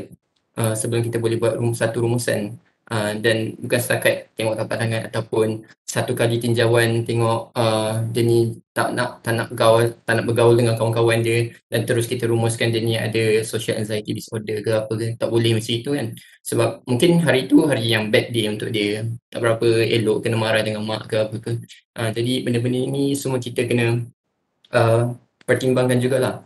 Tapi saya rasa apa yang lebih kepada trend zaman sekarang ni uh, adalah trend self-diagnose guna online. Uh, itu yang saya rasa yang lebih apa ni nampak lah. Jadi uh, bila dia pergi ke website apa-apa dan dia buat self-diagnose, dia kata oh aku ada depression, oh sebenarnya aku ada OCD.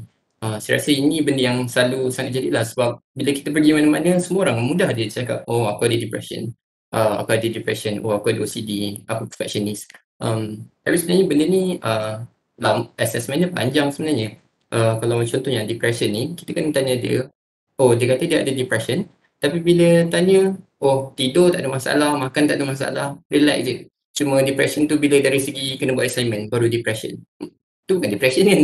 Jadi benda tu macam tak masuk lah. Tapi saya rasa macam trend sekarang ni orang banyak buat self-diagnose dan dia terus rumuskan. Tapi macam kita dengar daripada Cik Akif sendiri kata, step tu banyak sebenarnya.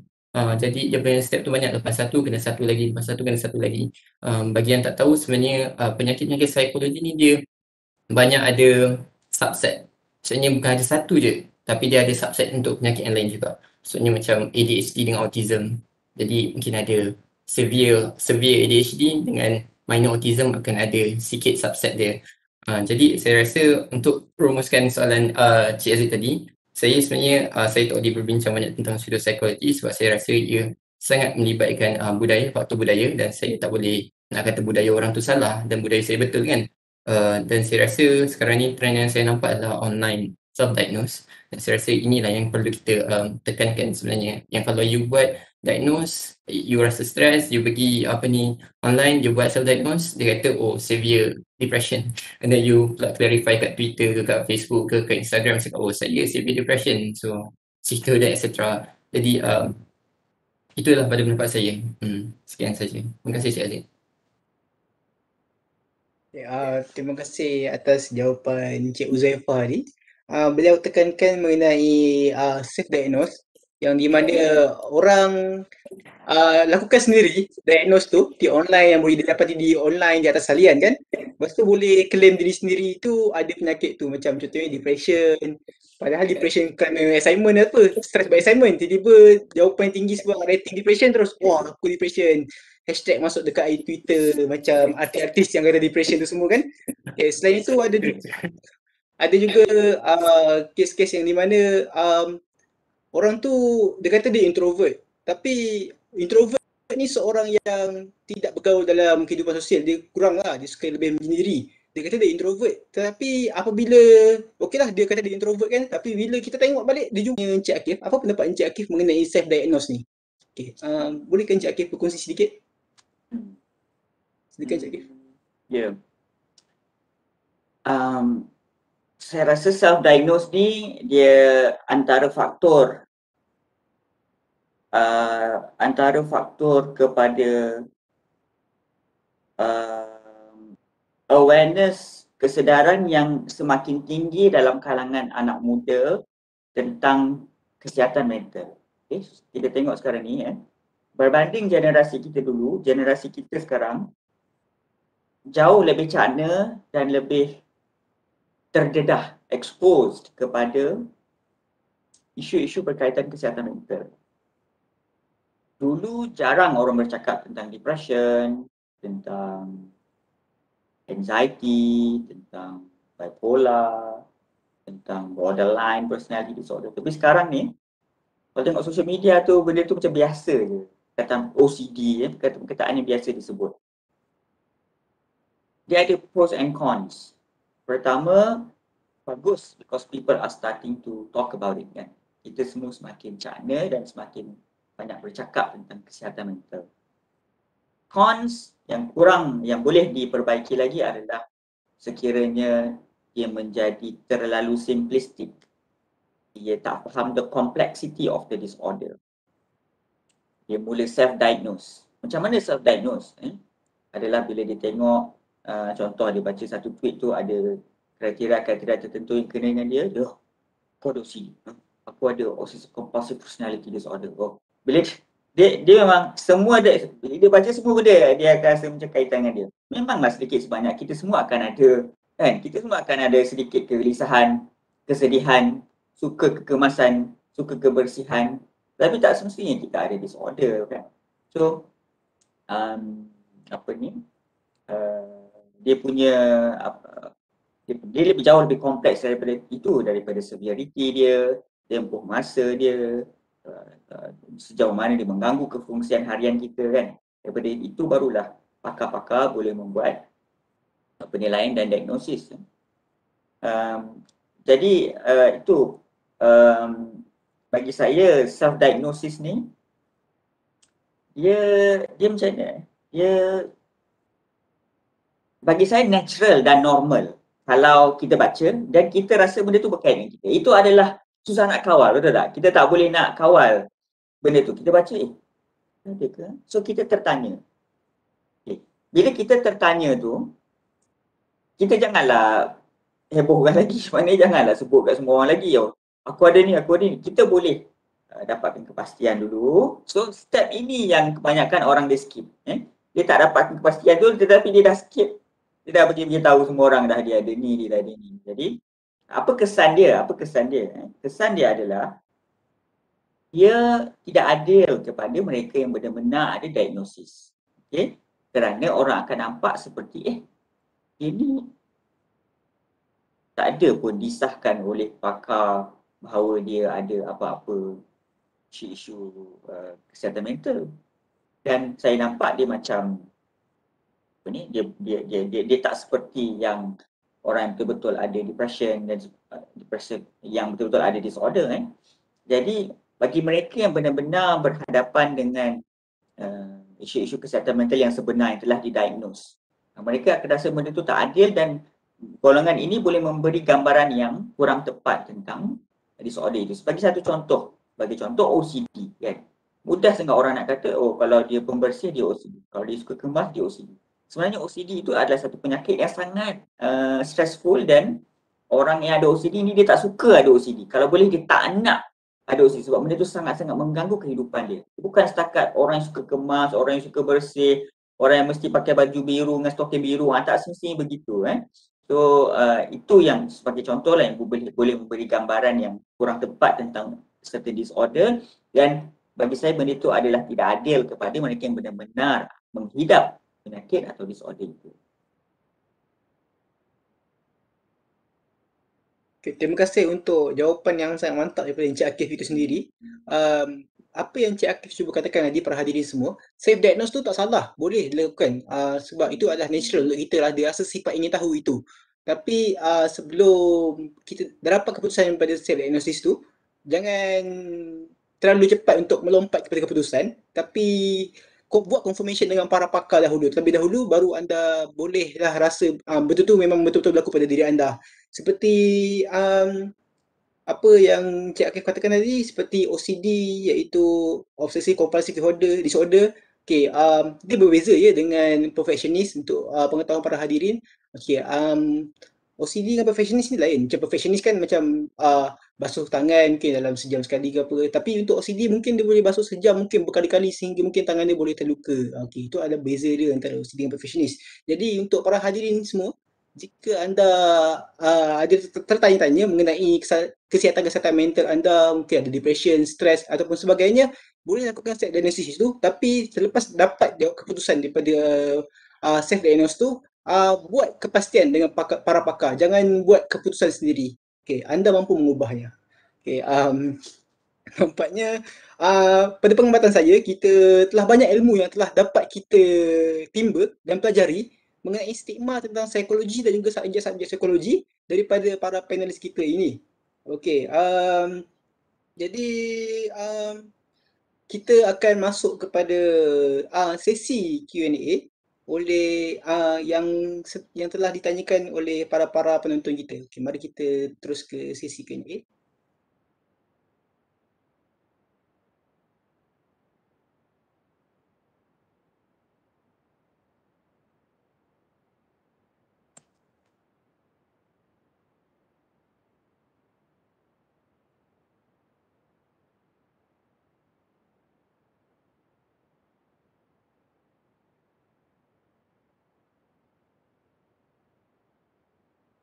Telah ditanyakan oleh para-para penonton kita. Okay, mari kita terus ke sesi Q&A.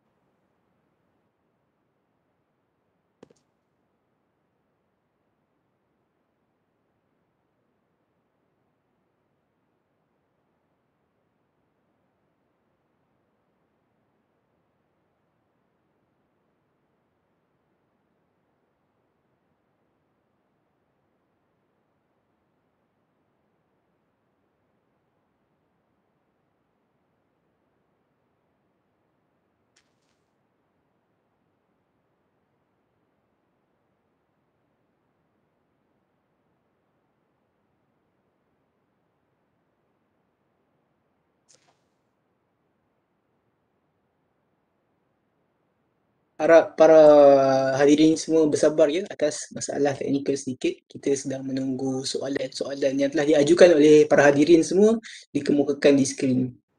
Jadi marilah kita sama-sama berselawat. Hmm. Okay. Ah, dah keluar? Okey, belum.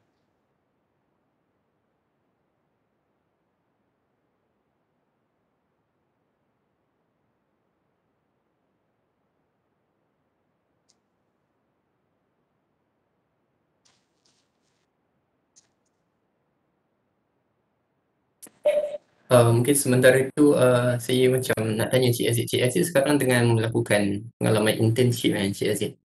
Boleh kongsi sikit pengalaman Cik Aziz, Cik Aziz. Saya dapat berita katakan Cik Aziz uh, buat internship di huh? polis, tempat polis. Jadi ceritakan sikit boleh Cik Aziz. Sementara tunggu, sementara tunggu soalan. Okey, okey. Um, multimedia cepat sikit. um, daripada pengalaman kita, apa kata kita tanya pengalaman Cik Akif mengenai uh, perjalanan beliau mengambil master? Uh, okay. Saya rasa para hadirin lebih tertarik dengan perjalanan hidup Encik Akif berbanding pengalaman hidup saya yang tak seberapa the, ni. the, the skill of uh, Tai Chi. eh. Pindahkan soalan. Uh, apa, uh, mungkin boleh share sikit lah. Uh, apa, hmm, macam saya dulu kan, cerita-cerita je lah eh, sementara tim teknikal nak bersedia. Kenapa saya mula nak ambil psikologi sebab saya tengok movie tau. Saya tengok cerita Beautiful Mind. Beautiful Mind ni cerita pasal skizofrenia yang cerita lama sangat uh, pasal seorang yang ada skizofrenia yang uh, watak uh, apa ni uh, star dia adalah ni Russell Crowe eh Russell Crowe Beautiful Mind ya.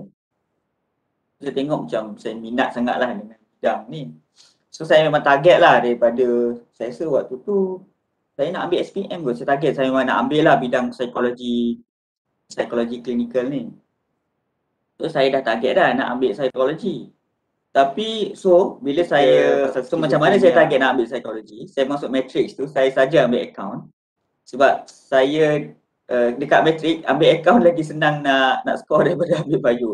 Untuk pandangan untuk saya punya pengalaman lah untuk orang lain tak tahulah. Eh. Uh, so saya masuk uh, account uh, masuk matrix ambil account dan saya pun memang waktu sekolah memang ambil account pun. Kemudian saya ambil uh, psikologi. So dapat masuk psikologi Alhamdulillah. Grad psikologi. Masalahnya masa degree saya dah orang kata apa Uh, kadang tu dah tersesat sikit, kadang lupa diri sikit so banyak main-main. So result biasa-biasa, eh, result biasa-biasa. Tapi dapat uh, masuk interview untuk clinical psychology. Gerak je, saya belum lagi convo, saya masuk interview clinical psychology. Tiba-tiba gagal. so gagal, eh, maknanya uh, saya punya impian awal tu musnah lah. Kita ingat dunia dah habis lah. So apa saya buat? saya ambil master lain, tak puas hati kita ambil master yang lain juga. Ambil developmental, belajar memang sangat berguna dan sangat uh, membantu. Kemudian saya kerja setahun dekat pusat autism supaya saya ada pengalaman uh, dalam bidang klinikal sikit. Kemudian saya masuk lagi uh, apa ni master kedua, uh, try uh, sekali lagi masuk interview master clinical psychology. Panel penilai interview dia ingat saya, eh you dulu kan pernah datang. dia ingat lagi saya. Terus dia kata, ya, saya, saya kata kat dia, kalau kali ni saya tak dapat, saya akan datang lagi. Lepas tu dia bagi. Lepas tu, uh, Alhamdulillah, kali kedua tu dapat. Eh. Kali kedua tu dapat. Eh. So, dia memang tak senang. Eh. Dia memang tak senang. Uh, memang mencabar kerana banyak, ni lah, banyak, kata apa, dia uh. Eh. Sangat-sangat highly kompetitif. Tetapi, kalau dengan usaha, dengan kalau betul-betul nak, uh, insyaAllah boleh. Sebab saya ni contoh orang yang tak pandai tapi dapat dengan usaha. uh, kalau macam Huzaifah, Yazid senang je lah. Eh. Tapi kalau macam saya ni, kena dua tiga kali cuba uh, barulah boleh dapat.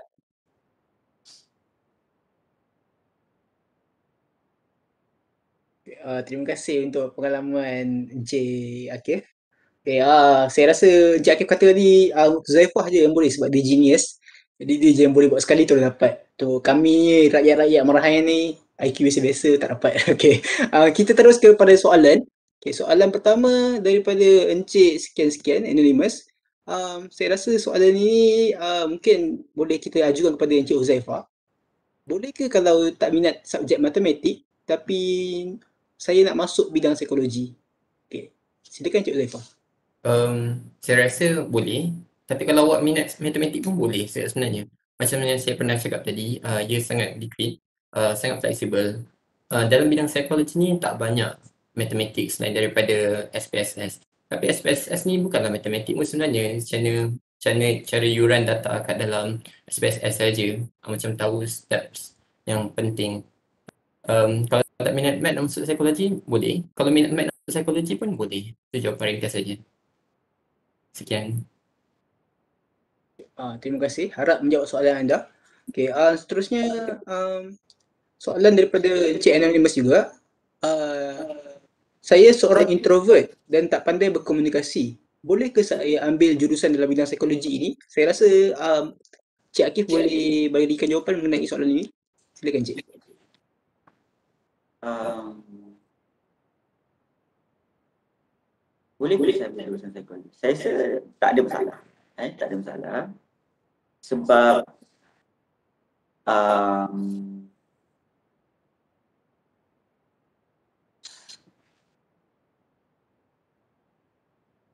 bila masuk psikologi ni bukannya bermaksud kita ni kena setiap hari kena kena, kena ubah personality ataupun setiap hari kena, kita kena masuk bidang kerja yang berjumpa dengan orang setiap masa dia akan lebih membantu kita untuk memahami diri sendiri dan orang lain dan kita akan tahu posisi kita yang sesuai dekat dalam kerja yang kerja ini dekat di posisi yang bagaimana eh? Maksud saya macam ni. Um, tak semestinya extrovert je boleh ambil psikologi. Tak tak semestinya. Introvert ke, ambivert ke, boleh ambil psikologi dan boleh excel dan boleh ada sudut tertentu dalam bidang psikologi yang kita akan lebih excel. Eh? Um, sebab bila ambil psikologi ni subjek ni sangat pelbagai tau, pelbagai. Eh? ada betul ada setengah subjek yang memang communication kita kena jumpa orang kita kena lebih banyak uh, macam apa uh, communication dengan orang tapi ada setengah subjek yang memang statistik research uh, yang yang kita duduk depan komputer dengan data pun boleh juga so um, bagi saya personality apa-apa pun boleh ambil psikologi.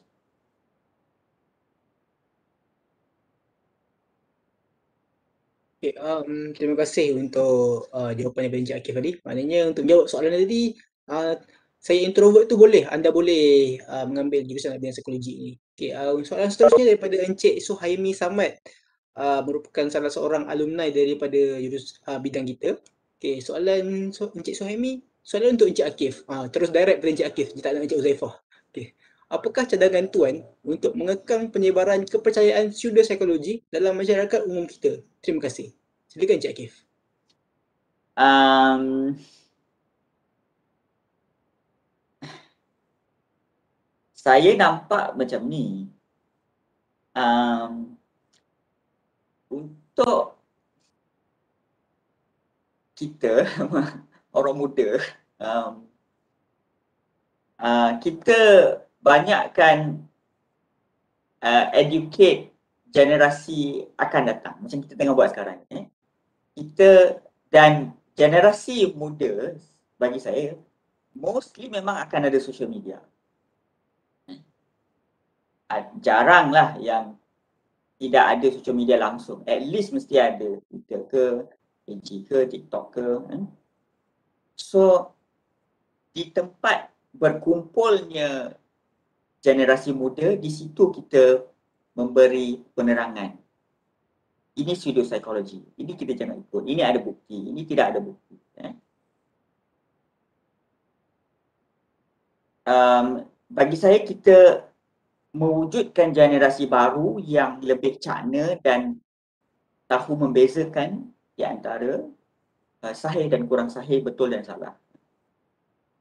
Dalam masa yang sama, um, sekiranya ada um, tokoh-tokoh tertentu yang secara aktif membawa uh, ilmu-ilmu pseudopsikologi dalam masyarakat, bagi saya uh, kita sebagai seorang individu, eh, kita harus berfikiran kritis. Macam betul ke dia cakap ni?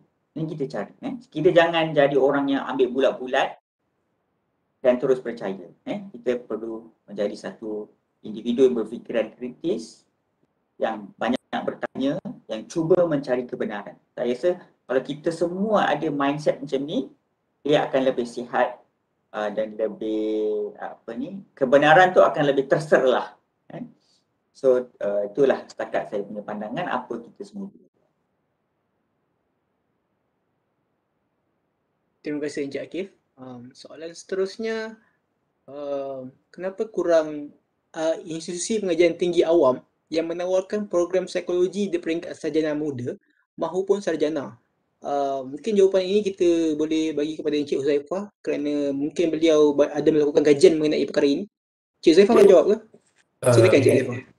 Nak katakan saya ada pernah buat kajian, tak pernah lah. Tapi saya boleh cakap tentang apa yang pengetahuan yang saya ada setakat ni. Saya rasa pertama sekali kenapa kurang tawaran ialah sebab Malaysia ni adalah satu negara yang fokus pada technical science. Eh, jadi dia macam mungkin sedikit sebanyak uh, kuranglah kesedaran tu sikit.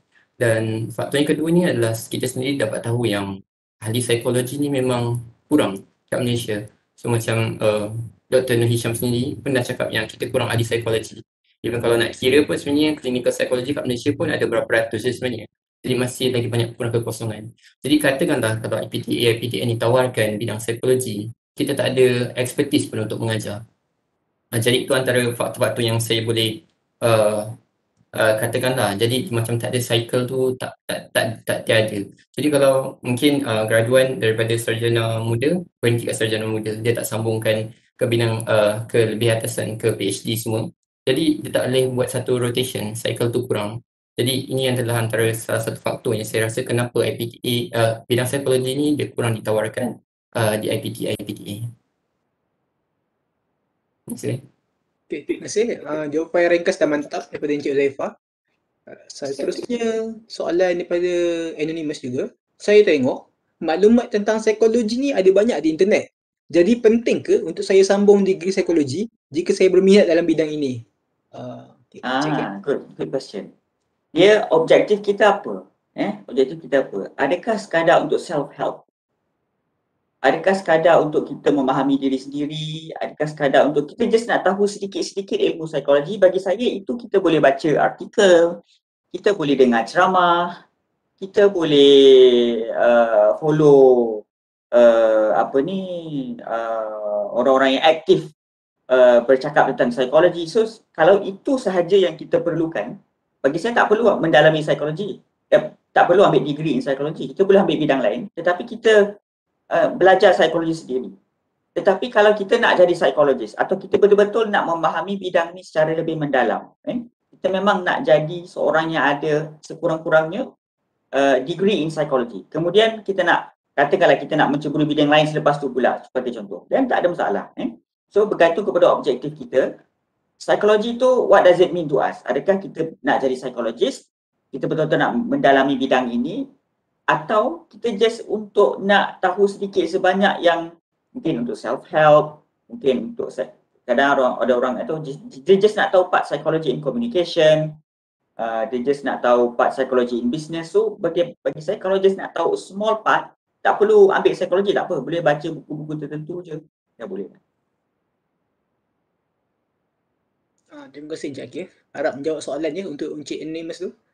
Uh, soalan seterusnya, bagaimana untuk memupuk minat, minat terhadap bidang psikologi? Adakah perlu dipupuk daripada rumah atau di bangku sekolah?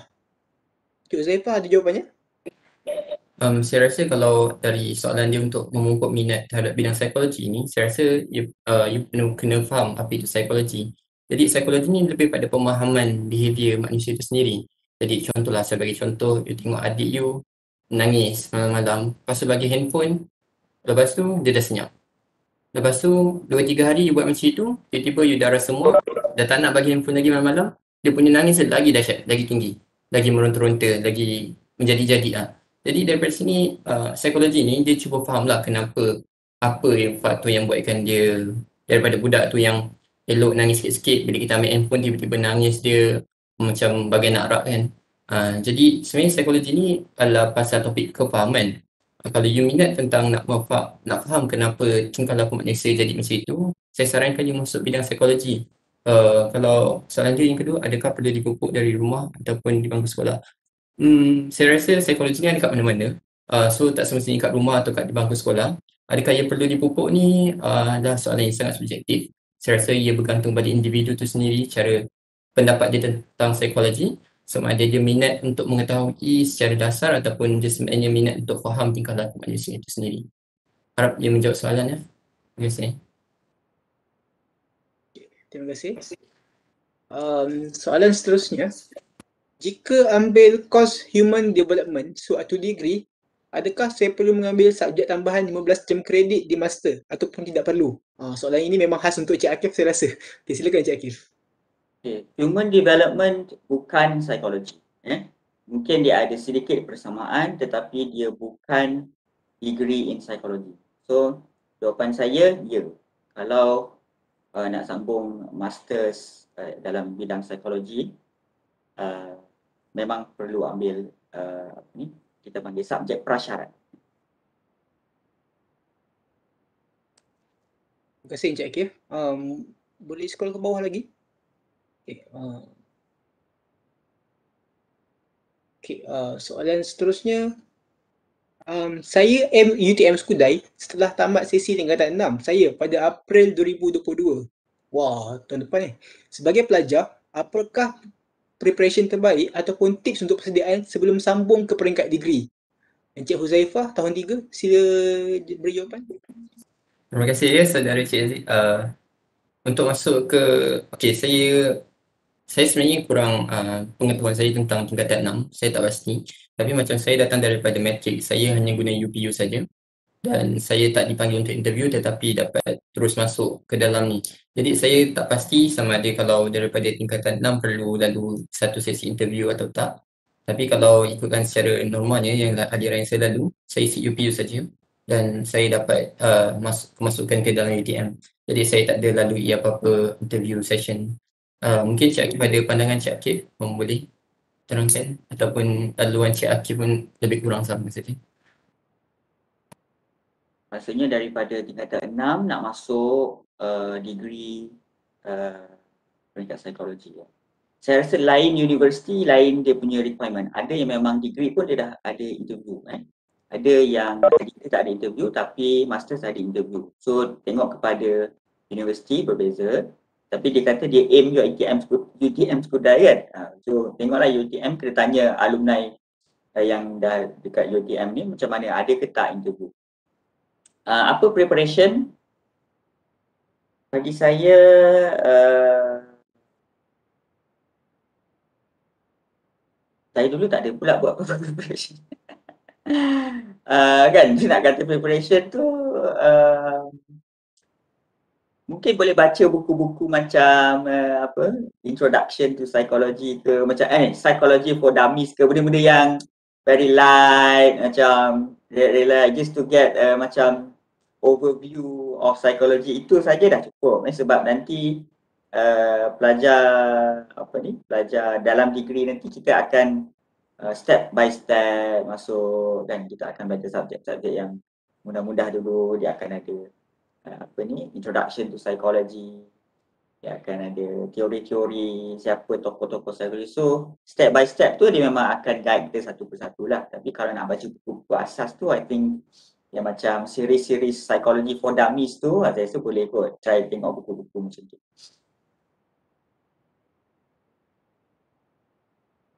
Soalan seterusnya.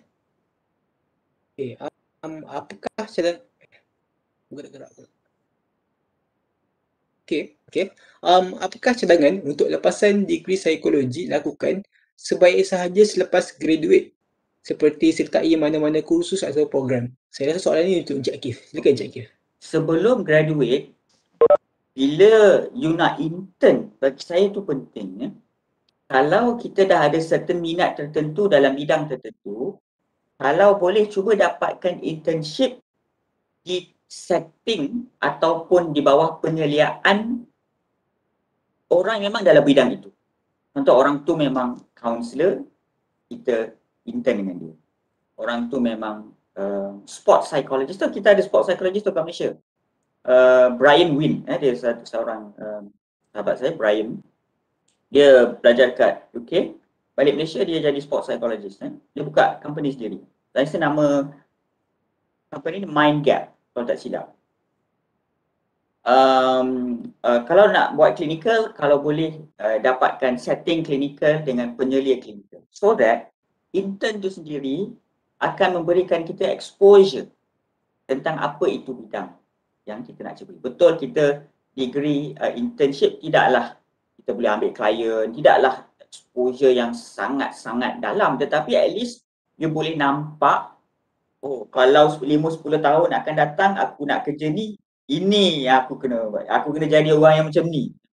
So kadang-kadang benda tu dah boleh bagi kita satu idea macam kita nak ke tak, kita bersedia ke tak nak nak nak jadi macam ni sebagai contoh kan. So internship tu bagi saya penting dan gunakan waktu itu untuk uh, apa ni untuk belajar sebaiknya, mendedahkan diri sebaiknya towards whatever yang you target untuk uh, masuk tu kan. Uh, lepas degree bagi saya um, dia bergantung kepada masing-masing tetapi uh, dia ada pros and cons. Maksudnya kalau kita nak kerja dulu dan cari pengalaman pun okey, maksudnya kita akan dapat uh, pengalaman kerja, dapat apply ilmu-ilmu psikologi kita, dia lebih faham bagaimana situasi bekerja. Uh, kemudian katakan nak sambung masters, then uh, bila sambung master tu kita akan matang sikit lah bila dah lepas kerja. Tetapi kalau lepas degree nak terus sambung master bagi saya pun boleh juga. Eh, pun boleh juga. Uh, mungkin sementara tunggu tu kita boleh cari kerja atau volunteer dekat tempat-tempat yang berkaitan dengan master kita. Sebagai contoh kan. Saya selalu cadangkan kepada mereka yang nak ambil clinical psychology supaya se- sebelum dia masuk interview clinical psychology tu at least dia ada internship atau dia ada bekerja atau di volunteer volunteer lah tanpa gaji pun, buatlah sekejap. Di tempat-tempat berkaitan setting klinikal supaya dia tahu, at least dia pernah nampak, oh budak autism ni macam ni rupanya. Oh setting klinik ni macam ni rupanya. Oh uh, apa ni? Uh, oh rupa uh, IQ test ni macam ni rupanya. So dapat feel tau, dapat feel tu lain dengan orang yang tak pernah nampak, dia just belajar dekat kelas, so dia tak tahu apa-apa. So dapat feel tu penting sebelum kita nak menceburi bidang-bidang khusus tertentu.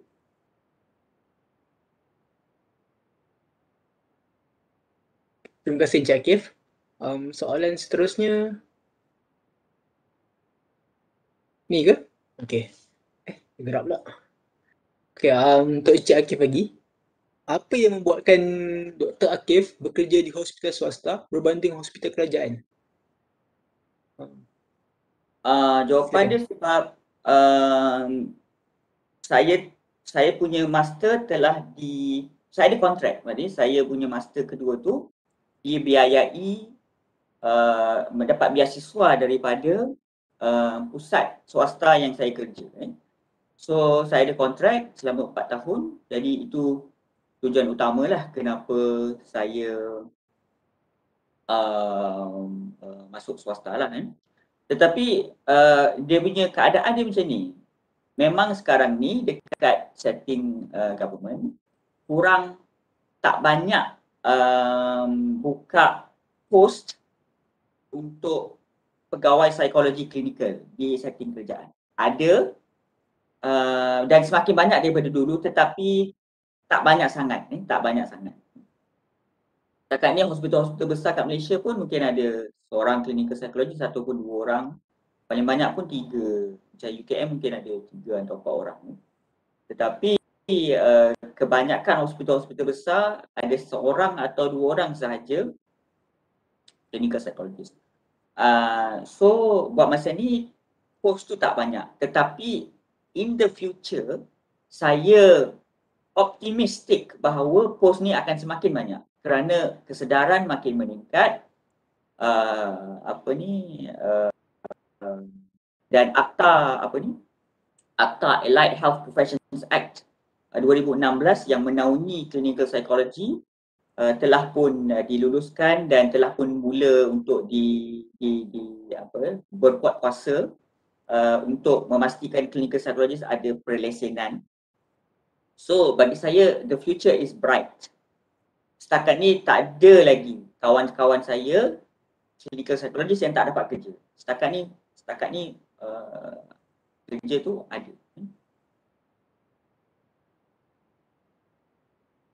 Terima kasih untuk Encik Akif. Um, soalan seterusnya. Kadang-kadang ada setengah parents yang malu untuk bawa anak mereka yang ada problem dengan penyakit-penyakit mental untuk pergi check up bagaimana untuk atasi isu ini? Saya rasa isu ini mengenai lebih kepada pandangan-pandangan orang lain judgemental terhadap anak-anak mereka atau penyakit mental itu sendiri. Silakan. Uh, saya rasa mungkin Encik Akif lebih sesuai untuk jawab soalan ini. Pertama adalah saya akan beritahu parents tak semestinya kalau anak ada penyakit mental menunjukkan ini adalah kelemahan kita. Okay? Dia macam ni tau uh, adik-adik. Bila kita jadi parents, kita akan rasa bertanggungjawab terhadap semua benda yang anak-anak kita buat. Dia jatuh, kita rasa bertanggungjawab. Dia sedih, kita rasa bertanggungjawab. Dia tak cukup makan, kita rasa bertanggungjawab. Termasuklah apabila dia berhadapan dengan isu-isu kesihatan mental, kita akan rasa macam aku ni tak cukup bagus ke sebagai ibu bapa kan? Apa salah aku? Ha? So kita akan malu kerana kita tak kita takut dipersalahkan, kita takut kita rasa macam benda tu menunjukkan kelemahan kita. Tapi sebenarnya tak semestinya begitu. Mungkin ada certain salah silap kita sebagai ibu bapa biasalah kan kita pun sentiasa belajar bagaimana menjadi ibu bapa yang lebih baik. Tetapi tak semestinya itu menunjukkan kelemahan kita. Malah itu menunjukkan kita kuat dan uh, apa ni the fact that kalau kita bawa anak kita berjumpa dengan pakar menunjukkan kita bersedia untuk membantu anak kita. Eh? So itu yang saya selalu akan beritahu parents. This is not this is not bawa anak pergi jumpa pakar does not show your weakness but actually shows your strength. Tunjukkan you uh, acknowledge there is a problem and ready untuk uh, apa ni kita bersama-sama improve dan memikirkan jalan penyelesaian terbaik untuk untuk anak. Um, terima kasih Encik Akif.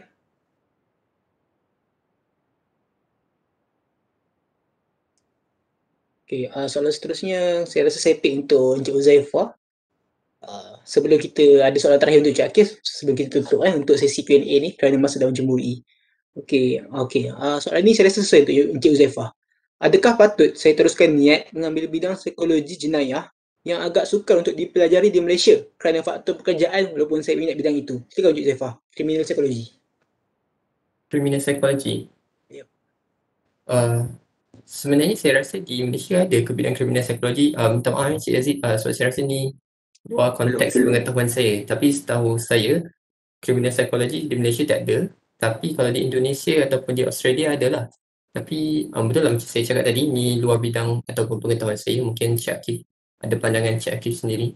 Uh, Uh, bagi saya uh, kat Malaysia belum ada maknanya job scope yang spesifik tetapi uh, mungkin uh, okay uh, psikologi kriminal uh, psikologi kriminal belum ada tetapi kita ada criminologist dia lain sikit eh. Criminologist dekat UKM nama dia Dr. Rahim Muna.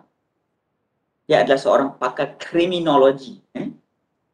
Dia seakan-akan uh, apa ni criminal psychology tetapi uh, sedikit berlain berlainan. Tetapi kalau nak tahu lebih lanjut tentang bidang ni saya rasa boleh uh, rujuk Dr. Rahim Muna dekat Facebook dia quite public figure so boleh uh, cuba untuk berhubung dengan dia. Okay, uh, mungkin saya rasa uh, mungkin ni soalan terakhir.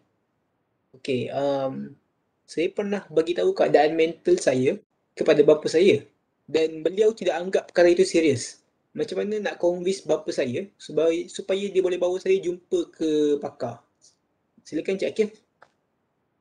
Um, ini memang satu perkara yang saya nampak uh, satu apa ni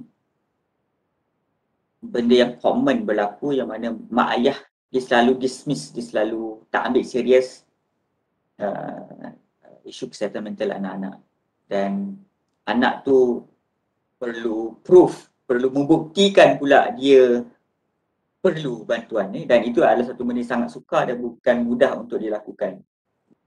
Um,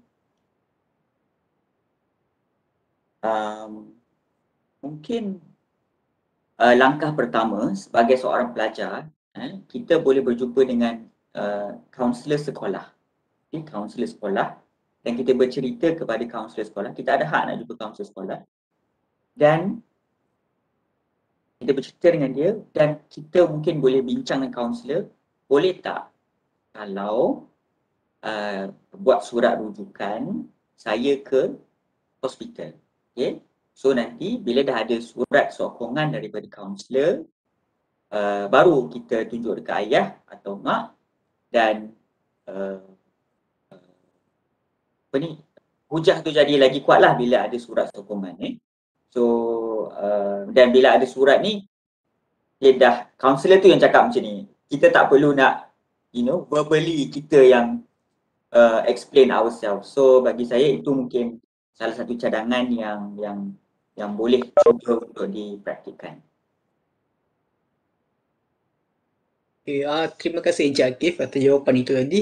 Nampaknya dengan berakhirnya jawapan itu terpaksalah berakhirnya sesi Q&A kita kerana masa telah mencemburi kita. Sedar tak sedar kita dah berada di akhir perbincangan bersama panel forum kita pada hari ini. Uh, Okey, sekiranya ada para panelis kita, para panelis kita, Encik Akif dan Encik Huzaifah ingin tekankan daripada sesi forum ini, uh, apakah perkara tersebut? Uh, silakan Encik Akif dahulu. Ada tak perkara-perkara yang Encik Akif nak tekankan daripada sesi ini? Um, apa-apa pun bidang bagus. Eh, tak semestinya tak semestinya psikologi je yang paling bagus. Tak semestinya klinikal je yang paling bagus. Tak semestinya kaunselor je yang paling bagus. Tak. Benda yang paling bagus adalah kita menjadi versi terbaik untuk diri kita eh. Be the best version of ourselves. Nak jadi psikologis ke, tak nak ke, nak jadi guru ke, nak jadi bomber ke, nak jadi influencer ke, nak jadi youtuber ke, nak jadi tiktokers ke. Buatlah apa pun asalkan halal, asalkan uh, sihat dan uh, apa ni uh, menjadi manfaat untuk masyarakat. Uh, cumanya of course lah kita dalam uh, bidang ini sangat menggalakkan dan mengalu-alukan sekiranya ada di antara anda adik-adik yang nak sambung ke peringkat sarjana muda dalam bidang psikologi atau daripada psikologi degree nak masuk ke masters juga saya sangat alu-alukan dan sangat sangat galakkan. Welcome ahlan wa sahlan uh, apa ni jom kita bersama-sama me, apa me, me advocate advokasi untuk psikologi dan kesihatan mental yang lebih baik untuk masyarakat dan rakyat Malaysia. Terima kasih Encik Akif. Uh, Encik Uzaifah, ada apa-apa perkara yang nak tekankan? Uh, saya tekankan untuk yang uh, terakhir sekali sebelum kita tutup majlis ni. Saya rasa untuk bagi pelajar-pelajar kat luar sana yang sedang memilih bidang, uh, pertama kena faham rasional dan minat. Jadi bila kita buat keputusan tu, biarlah atas rasional kita. Dan datang daripada rasional tu, minat tu akan uh, berkembang sendiri. Jadi janganlah sebab uh, kita baca atau mungkin uh, baca 800 punya perkataan blog, tiba-tiba kita rasa nak masuk uh, bidang ni. Jangan macam itu, kita buat uh, research sendiri. Baca sikit dengan lebih mendalam tentang uh, satu subjek tu sebab kadang ni luar dia tak nampak macam tak sama dengan apa yang betul-betul kita belajar kan. Mungkin luaran dia nampak lain, dalamnya nampak lain. Jadi uh, nasihat saya, uh, bila nak buat keputusan tu jadi rasional, jangan risau minat akan datang. Uh, InsyaAllah itu saja. Okay, terima kasih. Okay, uh, terima kasih Encik Uzaifah. Um, jadi um, ingin saya buat kesimpulan sedikit. Um, izinkan saya buat kesimpulan daripada hasil perbincangan kita mengenai forum ini. Um, untuk para hadirin semua, um, jurusan psikologi ni merupakan jurusan yang fleksibel dan terbuka kepada semua. Dia tak tak ada uh, anda tak layak untuk ambil psikologi, anda tak layak. Anda semua layak. Anda juga anda boleh untuk mengambil bidang psikologi ini. Okey, seterusnya kita juga ada uh, menyentuh bidang-bidang kerjaya dalam bidang psikologi ini. Bermakna bukannya kata um, psikologi ni tak ada job market, tak ada. Uh, seperti yang cik, para panelis kita kata, banyak uh, uh, terbuka luas graduan-graduan psikologi kita untuk menceburi bidang pekerjaan. Okey, uh, seterusnya kita juga ada menyentuh mengenai stigma-stigma masyarakat yang di mana menyebabkan ada berlakunya studio-studio psikologi yang berlaku dalam yang berluasa dalam kalangan masyarakat kita sekarang. Jadi apa yang perlu kita lakukan adalah macam mana kita nak memastikan generasi-generasi akan datang yang terlalu mudah percaya dengan apa yang berada di atas talian untuk lebih rasional untuk lebih berfikir dahulu sebelum terlalu percaya bulat-bulat mengenai perkara itu. Apa yang penting jadi adalah um, macam mana cara kita nak mengajar menyampaikan maklumat supaya uh, perkara itu tidak menjadi pseudo psikologi. Okay, uh, itulah apa yang saya dapat kesimpulan. Selain itu, um, seperti Encik Akif katakan tadi, jangan um, be the best version of yourself. Okay, uh, be the best version of yourself. Jika para hadirin semua, uh, kita semua tidak suka orang-orang yang toksik, berperangai-perangai toksik semua itu kan. Jadi macam mana kita nak elak orang-orang yang ada perangai toksik itu sendiri, anda kena cuba elak untuk jadi orang yang toksik. Okay, kalau anda cuba elak untuk jadi orang yang toksik, jika semua orang lakukan perkara ini, saya rasa insya-Allah tak ada orang yang toksik dekat dalam Malaysia ini. Okay. Cakap senang kan, tapi bukan mudah untuk lakukannya. Okay, uh, daripada yang terakhir Encik Encik Uzaifah katakan, be rational, fahami minat anda. Be rational, fahami minat anda. Jangan mudah terburu-buru membuat keputusan kerana anda akan menyesal satu hari nanti. Okay. Pastikan take your time, uh, cakap dengan apa, jika Islam buat sembahyang istikharah semua tu, barulah lakukan keputusan. Okay, um, jadi um, kita saya akhiri kesimpulan saya dengan serangkap pantun. Um, berakhir sudah forum Break the Stigma. Sekian sahaja semua perkongsian. Selamat maju jaya kepada para hadirin semua. Ilmu dan pengalaman ditimba harap dimanfaatkan. Kami, wakil program, wakil kru program Psikologi School Attack berharap bahawa sesi forum ini dapat memberikan manfaat kepada para hadirin, semua, terutamanya pelajar sekolah-sekolah menengah kita. Harap sangat memberi, memberi manfaat. Ke? Sila manfaatkan ilmu yang telah anda dapat Seterusnya bagi pihak ahli jawatan kuasa psikologi school attack, uh, saya ingin mengucapkan jutaan terima kasih kepada para panelis kita iaitu Encik Akif dan juga Encik Uzaifah atas perkongsian yang sangat menarik. Okay, um, apa yang mereka kongsikan itu bukannya dapat dalam sehari dua ya. Uh, ada banyak kisah di sebaliknya. Air mata, peluh, stres semua tu bukan senang ya untuk dapat stres uh, degree dan master eh. Jadi uh, kita kena hargai ilmu yang telah mereka kongsikan itu sendiri. Okay, uh, majlis juga mengucapkan ribuan terima kasih kepada semua pihak yang terlibat secara langsung atau tidak langsung dalam sesi forum ini. Kru-kru dan juga orang-orang yang terlibat atau tidak, tidak terlibat secara langsung. Anda semua adalah wira yang menjayakan program ini. Jadi uh, sebelum saya menyerahkan program kepada uh, moderator, eh moderator maafkan saya, saya moderator. Menyerahkan balik uh, program kepada pengacara majlis, saya akan concludekan dengan serangkap pantun lagi. Boleh eh? Okay. Dipandang mulia kerana usaha dan jasa dipandang serong kerana bermuka-muka. Kepada para hadirin, jangan mudah kecewa dan putus asa. Rezeki dan peluang anda masih banyak terbuka. Okay, uh, jadi uh, sebagai moderator sesi forum Break the Stigma, saya Muhammad Aziz ingin meminta maaf jika ada melakukan sebarang kesalahan sepanjang sesi forum ini. Saya hanyalah seorang manusia biasa, maafkan saya. Jadi dengan ini saya mengucapkan Terima kasih, sekian dan menyerahkan kembali kepada pengacara majlis untuk mengendalikan majlis. Sekian, Assalamualaikum warahmatullahi wabarakatuh.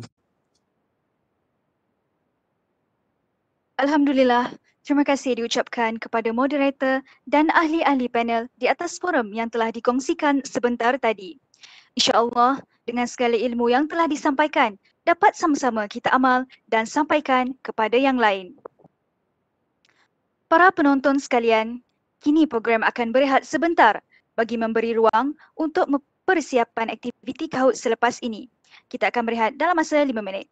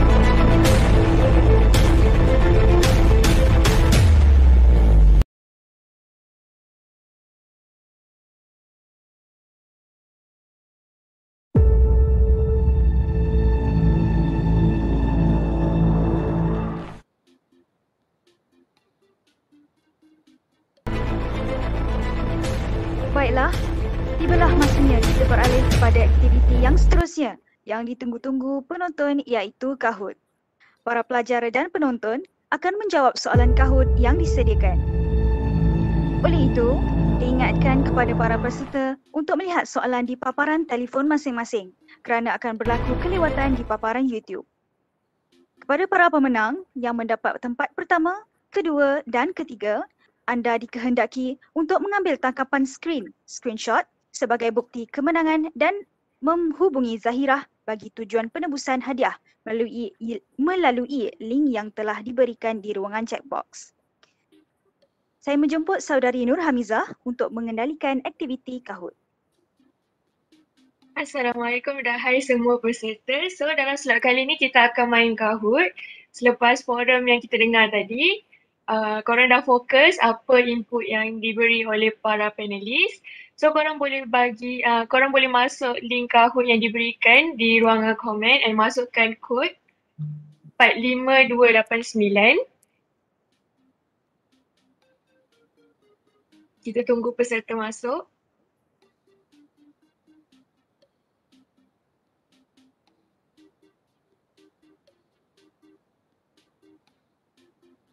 Dah ada 17 peserta nampaknya. Kita tunggu ramai lagi. Korang boleh join uh, Kahoot game ni sebab kita ada hadiah untuk top 3.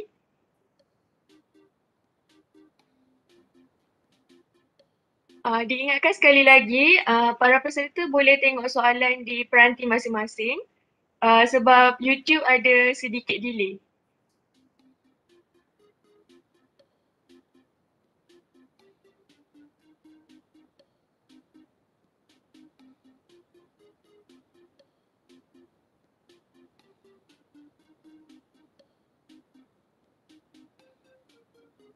Okay, so nampaknya dah ada 43 peserta. Kita tunggu lagi.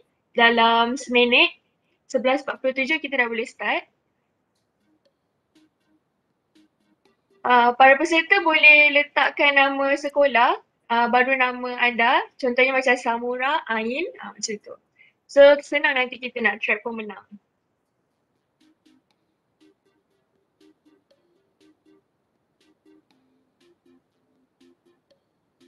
Okay, kita tunggu lagi seminit. 11.47 kita boleh start.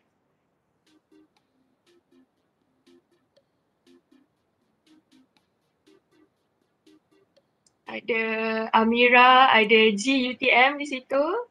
Ada Nazifa. Boleh letak nama sebenar ya kalau nanti menang kan? Ha, tak boleh pula track aku pemenang.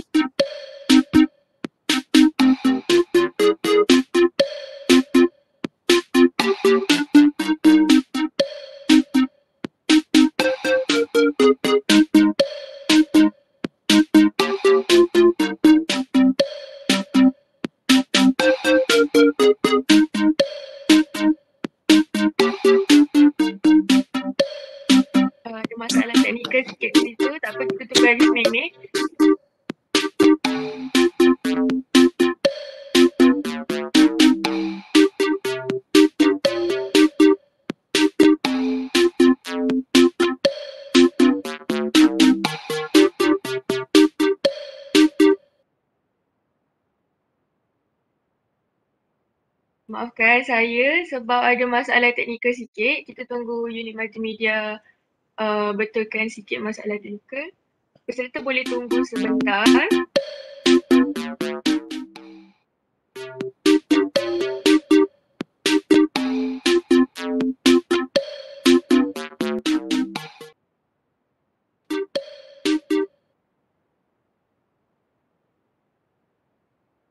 Maafkan saya sebab ada masalah teknikal sikit. Kita tunggu unit multimedia uh, betulkan sikit masalah teknikal.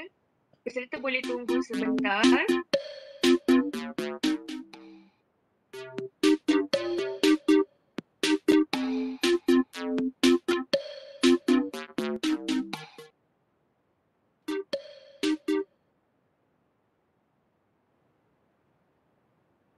Maafkan saya sebab ada masalah teknikal sikit. Kita tunggu unit multimedia uh, betulkan sikit masalah Maaf ya, ada masalah teknikal tadi. boleh tunggu Boleh sebentar. masuk di tak? Eh, nombor lima.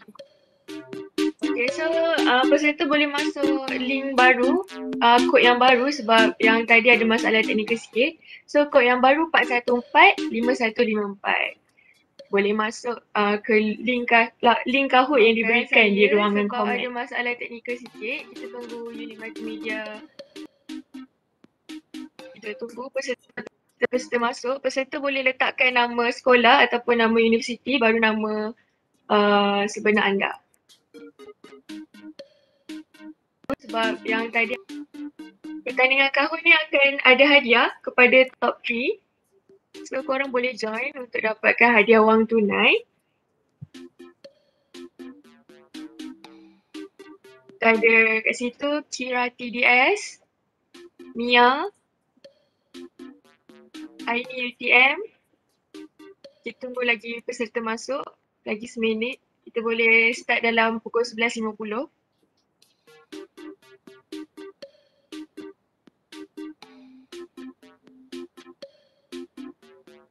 Ingatkan sekali lagi peserta boleh tengok soalan di peranti masing-masing instead of YouTube sebab YouTube ada delay dalam 30 second gitu.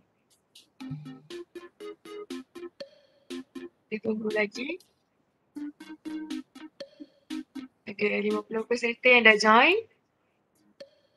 Kalau korang fokus tadi forum tadi, ah bolehlah jawab kahwin ni. Boleh menang wang tunai kepada top 3.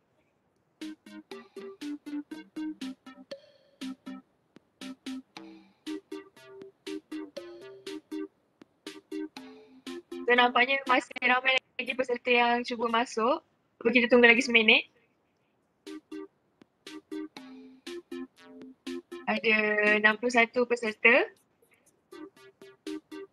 63.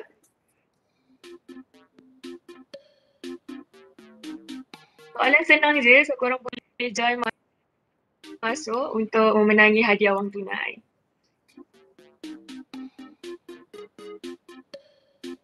Okay, so nampaknya kita dah boleh start sebab dah 11.51. So kita dah boleh start and good luck. Okay. So, ada 15 soalan. Kita akan tengok soalan pertama. Okay, soalan pertama. Apakah tema forum pada hari ini? Uh, mana yang betul? Go psychology, learn psychology first. Stigma in psychology or break the stigma. Tema tema forum kita pada hari ni ada dalam ada dalam poster ya. Good lah. So tak boleh salah di soalan ni. Jawapan dia break the stigma. So ada lagi yang salah tu. Okay kita tengok siapa yang mendahului. Hakim UTM mendahului, Ikan nombor dua and Amira nombor tiga. Okay so kita proses soalan nombor dua. Ha, soalan nombor dua is multi-select question. Siapakah panel forum break the stigma pada hari ini? Ada dua. Ha, siapa? Muhammad Hafiz Muizuddin, Muhammad Atif Farhan Ahmad Basri, Muhammad Aiman Daniel, Muhammad Uzaifah Adam. Ada dua panelis kita pada hari ini. So ada dua jawapan yang betul dekat pilihan jawapan.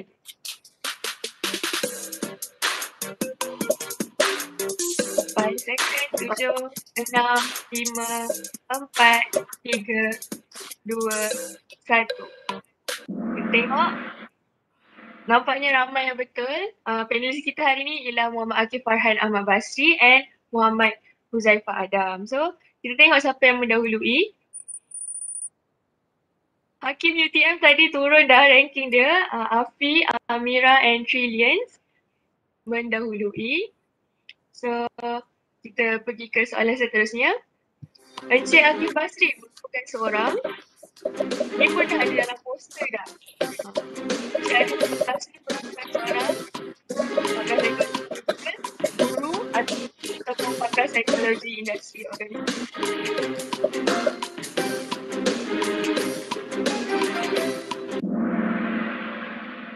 Nampaknya majoriti betul, 58 orang yang betul. Encik Akif Basis merupakan seorang pakar psikologi klinikal. So kita tengok siapa yang mendahului, tiga tangga teratas. Masih lagi Afi, uh, tempat kedua Three Lions and tempat ketiga Amira. Okay, kita pergi soalan seterusnya. soalan ni dapat double point. Okey, apakah definisi psikologi? Hmm. Ini dah ada tadi panelis kita dah terangkan apa tu psikologi. Dia ada kajian dalam bahasa mental seorang, kajian saintifik tentang proses mental sahaja ataupun kajian saintifik mengenai tingkah laku dan proses mental ataupun kajian mengenai tingkah laku dan proses mental.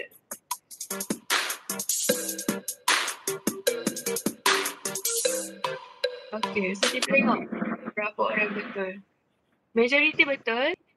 Uh, psikologi ni merupakan kajian saintifik mengenai tingkah laku dan proses mental. Okey, so kita tengok siapa yang mendahului. Hmm, Three Lions mendahului, Afi turun satu anak tangga and uh, Ikan tangga ketiga. Fish. Okay, next question. Korang boleh kejar lagi sebab ini baru soalan kelima. Okey, siapakah yang terlibat dalam memberi rawatan kepada pesakit mental dan memberi preskripsi ubatan kepada pesakit? Adakah pakar psikologi klinikal, pakar psikiatri, kaunselor ataupun guru?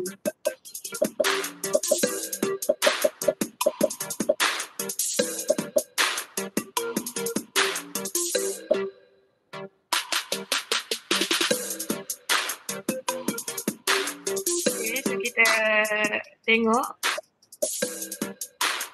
dan memberi prisma satu. Okey, kita tengok apa jawapannya. Jawapannya yang betul adalah pakar psikiatri. Hanya pakar psikiatri je yang layak untuk uh, memberikan preskripsi ubatan kepada pesakit. So kita tengok soalan uh, kita tengok siapa yang mendahului tiga tangga teratas. Uh, Three Lions jatuh je rankingnya. Uh, tempat pertama Afi. Tempat kedua Three Lion and tempat ketiga Fifi UTM. Okay, kita teruskan. Soalan yang keenam.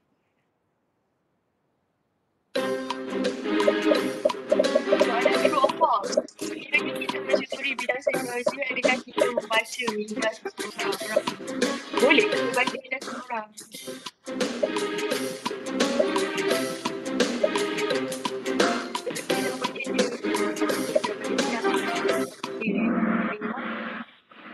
Jawapannya tidak ya. Siapa 13 orang yang jawab ya tu. Ha.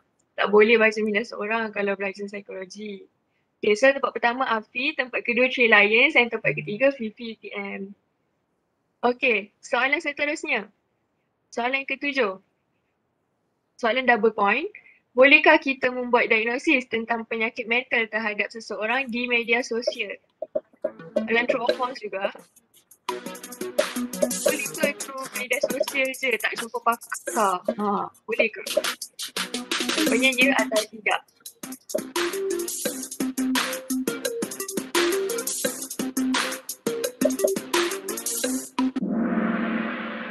Jawapannya tidak ya. Siapa yang 15 orang jawab ya tu, ha, uh, jawapannya tidak. Kita tak boleh membuat diagnosis tentang penyakit mental terhadap seorang di media sosial. Kita kena jumpa pakar untuk uh, lebih tahu dengan betul. Okay, so kita tengok siapa yang mendahului tiga tangga teratas. Masih Afi ke? Masih Afi. Tempat kedua Three Lions and tempat ketiga Fifi UTM. So kita gerak kepada soalan seterusnya. Okey, soalan ke-8. Penilaian psikologi boleh dilakukan oleh sesiapa sahaja. Siapa je ke layak yang buat uh, penilaian psikologi ataupun bahasa Inggerisnya assessment.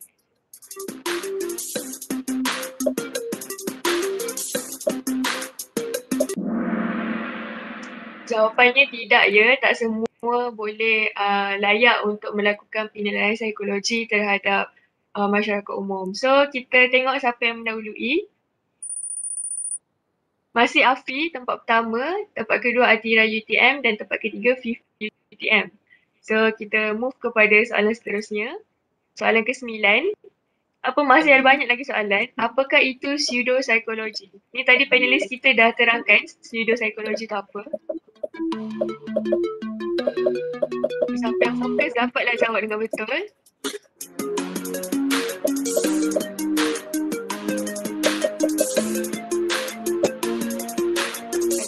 Amalan psikologi yang salah dan tidak terbukti? Kita tengok jawapannya. Baik, tiga, dua, satu. Jawapan dia amalan psikologi yang salah dan tidak terbukti. Itu maksud pseudopsikologi dan kita tak boleh sebarkan pseudopsikologi sesuka hati. Okay, so kita tengok siapa yang mendahului. Masih Afi, tempat pertama, tempat kedua Atira UTM dan tempat ketiga Fifi UTM. Orang boleh kejar lagi sebab kita ada banyak lagi soalan. Okay, next soalan seterusnya. Apakah itu psikologi abnormal? Ha, ni siapa yang dalam psikologi UTM dan ni dah boleh jawab dah ni. Salah juga, tahu lah. Apakah itu psikologi abnormal ataupun abnormal psikologi? Pilihan jawapan pun obvious dah tu. Ha, dah boleh betul dah tu jawapannya.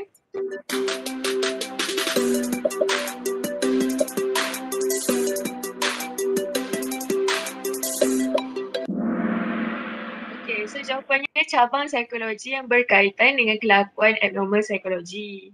Okay, so kita tengok siapa ranking teratas, tiga teratas. Masih Afi, tempat kedua Atira UTM and tempat ketiga Fifi UTM. Kita tengok soalan yang ke-11, psikologi perkembangan merupakan ataupun development, developmental psychology merupakan ha, mana tu jawapan yang betul? Jawapan obvious je.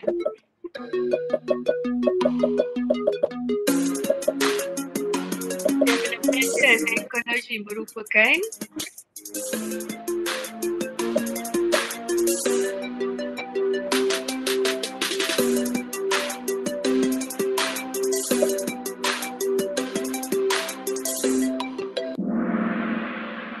Okay, developmental psychology merupakan cabaran tentang perubahan psikologi merentas sepanjang hayat manusia. So kita tengok siapa yang mendahului. Masih Afi ke tempat pertama? Masih Afi tempat pertama, tempat kedua Atira UTM dan tempat ketiga UTM. Dan kita gerak kepada soalan seterusnya, soalan ke-12. Apakah itu psikologi klinikal, clinical psychology?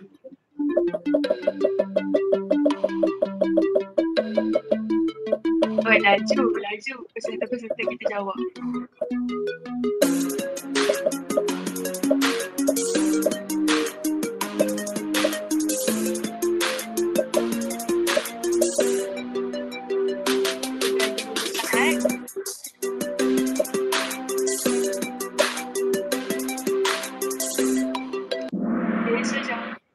Betul, psikologi klinikal merupakan cabang psikologi berkaitan dengan penilaian dan rawatan penyakit mental. So kita gerak ke, uh, kita tengok dulu siapa mendahului. Masih Afi, Atira UTM dan Fifi UTM. Kita gerak ke soalan 13. Pseudopsikologi boleh disebarkan di khalayak ramai seperti astrologi. Betul atau salah? Tadi saya dah cakap dah, boleh ke kita sebarkan pseudopsikologi ni pada khalayak ramai? Betul ke pseudopsikologi tu boleh disebarkan?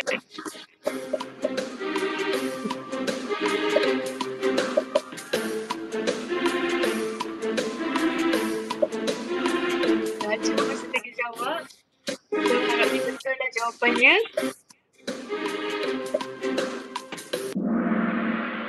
Jawapannya tidak. Majoriti betul tapi ada juga jawab yang boleh. So jawapan salah ya. Okay, tempat pertama masih Afi, tempat kedua Fifi dan tempat kedua Mahira. Kita gerak ke soalan kedua terakhir. Soalan ke-14. Apakah bidang yang terdapat dalam psikologi? Ha, forensik psikologi, psikologi, sport psikologi ataupun semua di atas.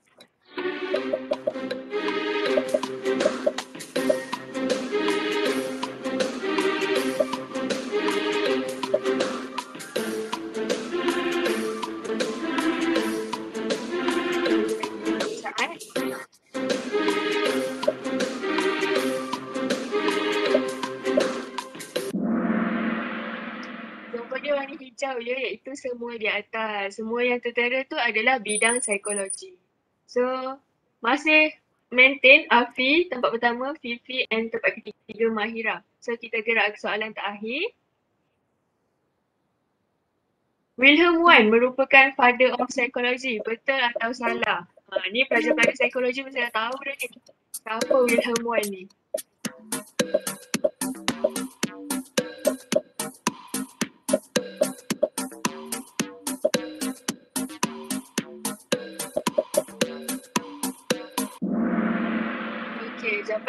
Dia, uh, Wilhelm Wundt merupakan father of psychology. So kita tengok uh, keputusan terakhir siapa yang mendahului dan layak mendapat hadiah wang tunai.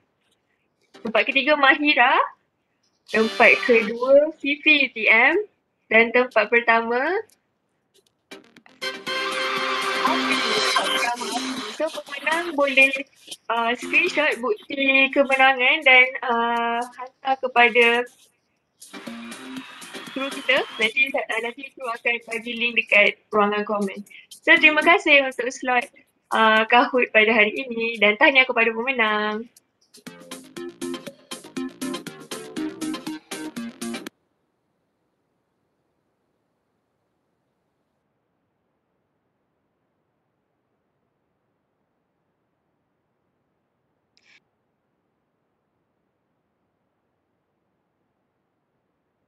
Tahniah diucapkan kepada para pemenang.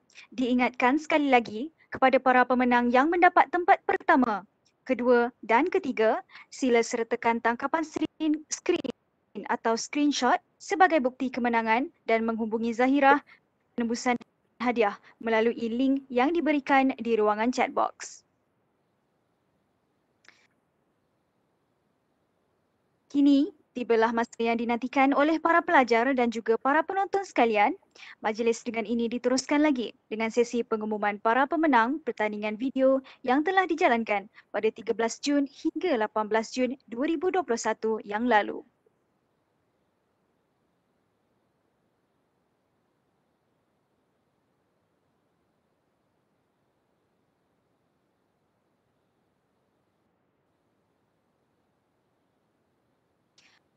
Bagi pemenang sagu hati,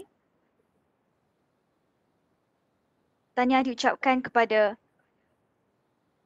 Dwi Nur Aini binti Sayudi, Muhammad Adam Haris bin Rosli dan Nur Syazwani binti Hari Harunizan.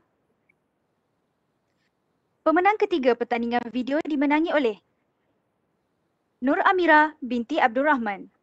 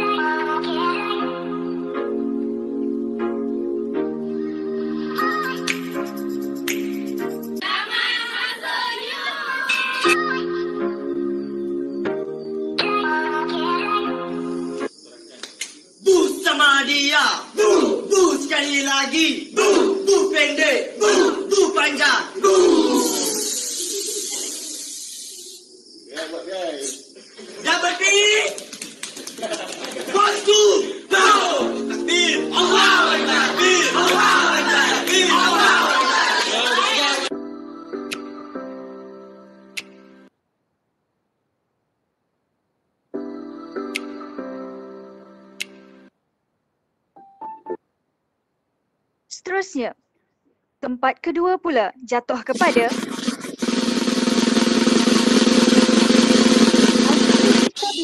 binti Muhammad Zaran.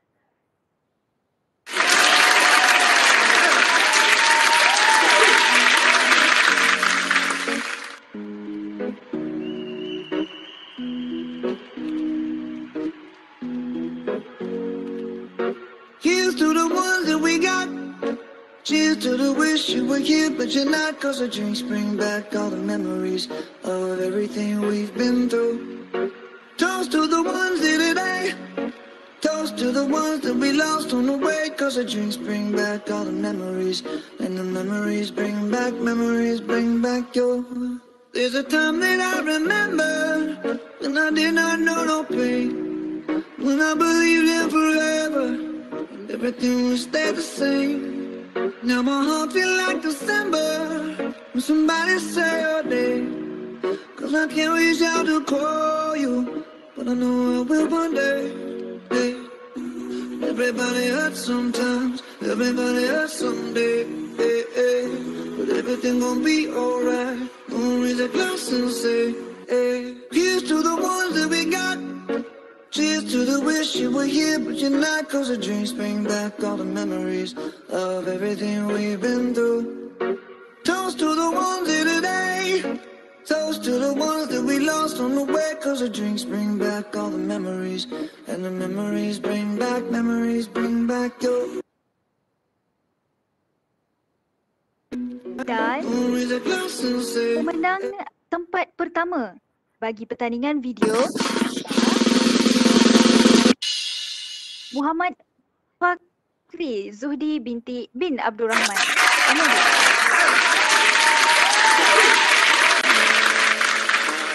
Pertama kali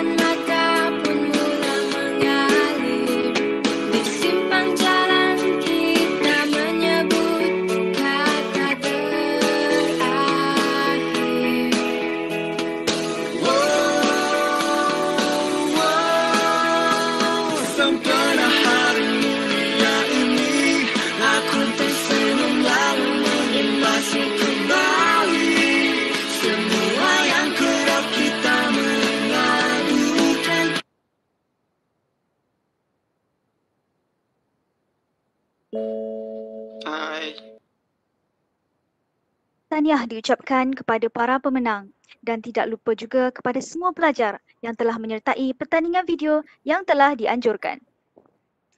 Kepada para pemenang, wakil daripada pihak kami Psychology School Attack akan menghubungi anda melalui butiran yang telah diisi sebelum ini.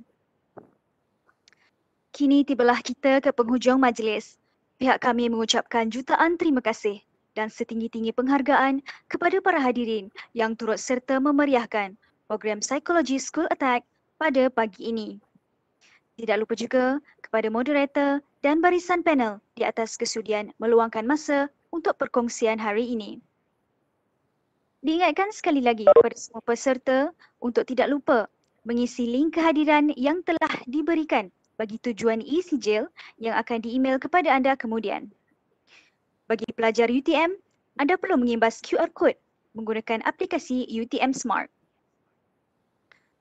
Maka dengan ini, saya Nur Farisha dan bagi pihak penganjur juga ingin memohon maaf sekiranya terdapat kekurangan yang berlaku sepanjang majlis ini berlangsung.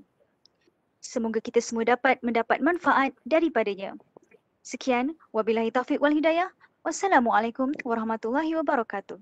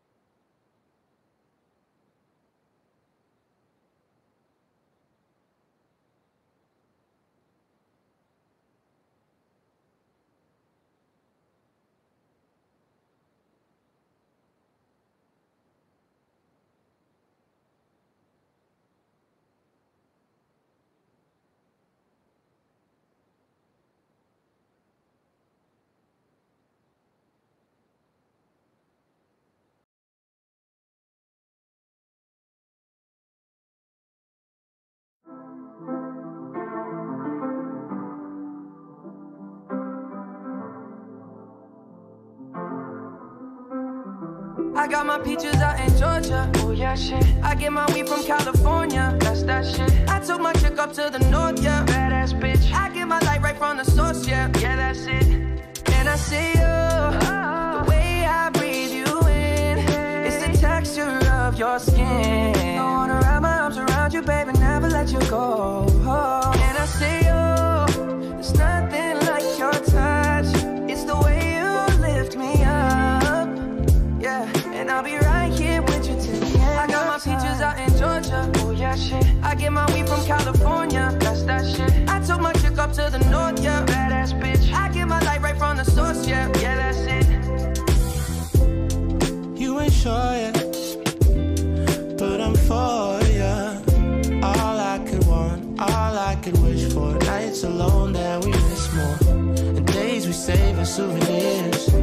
There's no time, I wanna make more time and give you my whole life. I left my girl, I'm in my Yorker.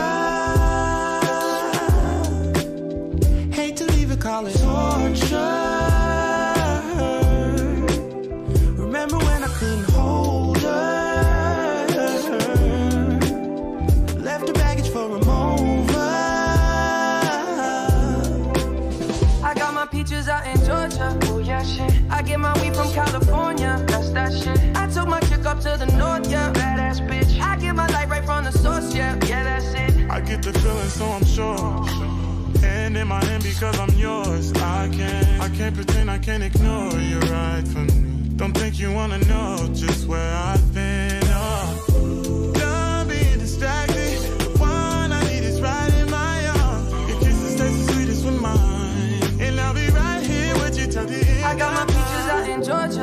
Oh shit. I get my weed from California. That's that shit. I took my chick up to the north, yeah. Badass bitch. I get my light right from the source, yeah. Yeah, that's it. I got my peaches out in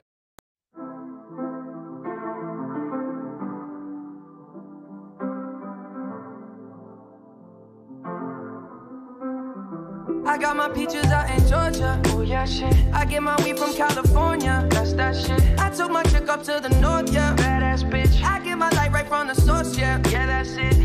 And I see you. The way I breathe you in. It's the texture of your skin. I wanna wrap my arms around you, baby, never let you go.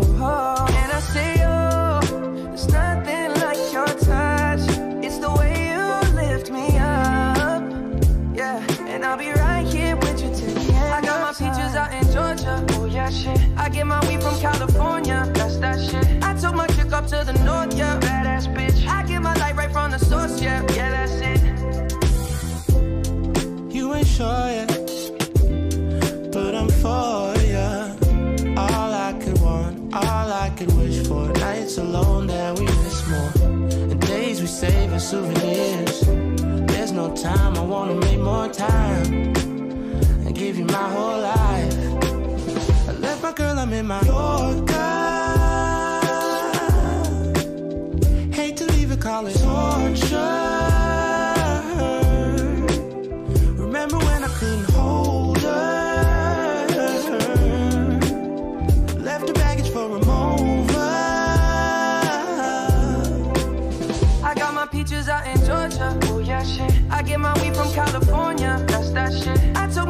To the north, yeah. Badass bitch. I get my light right from the source, yeah. Yeah, that's it. I get the feeling, so I'm sure. Hand in my hand because I'm yours. I can't, I can't pretend I can't ignore you right from me. Don't think you wanna know just where I've been. Oh. Done being distracted. The one I need is right in my arms. Your kisses taste the sweetest with mine, and I'll be right here with you till the end. I got my peaches out in Georgia. Yeah, shit. I get my weed from California. That's that shit. I took my chick up to the north.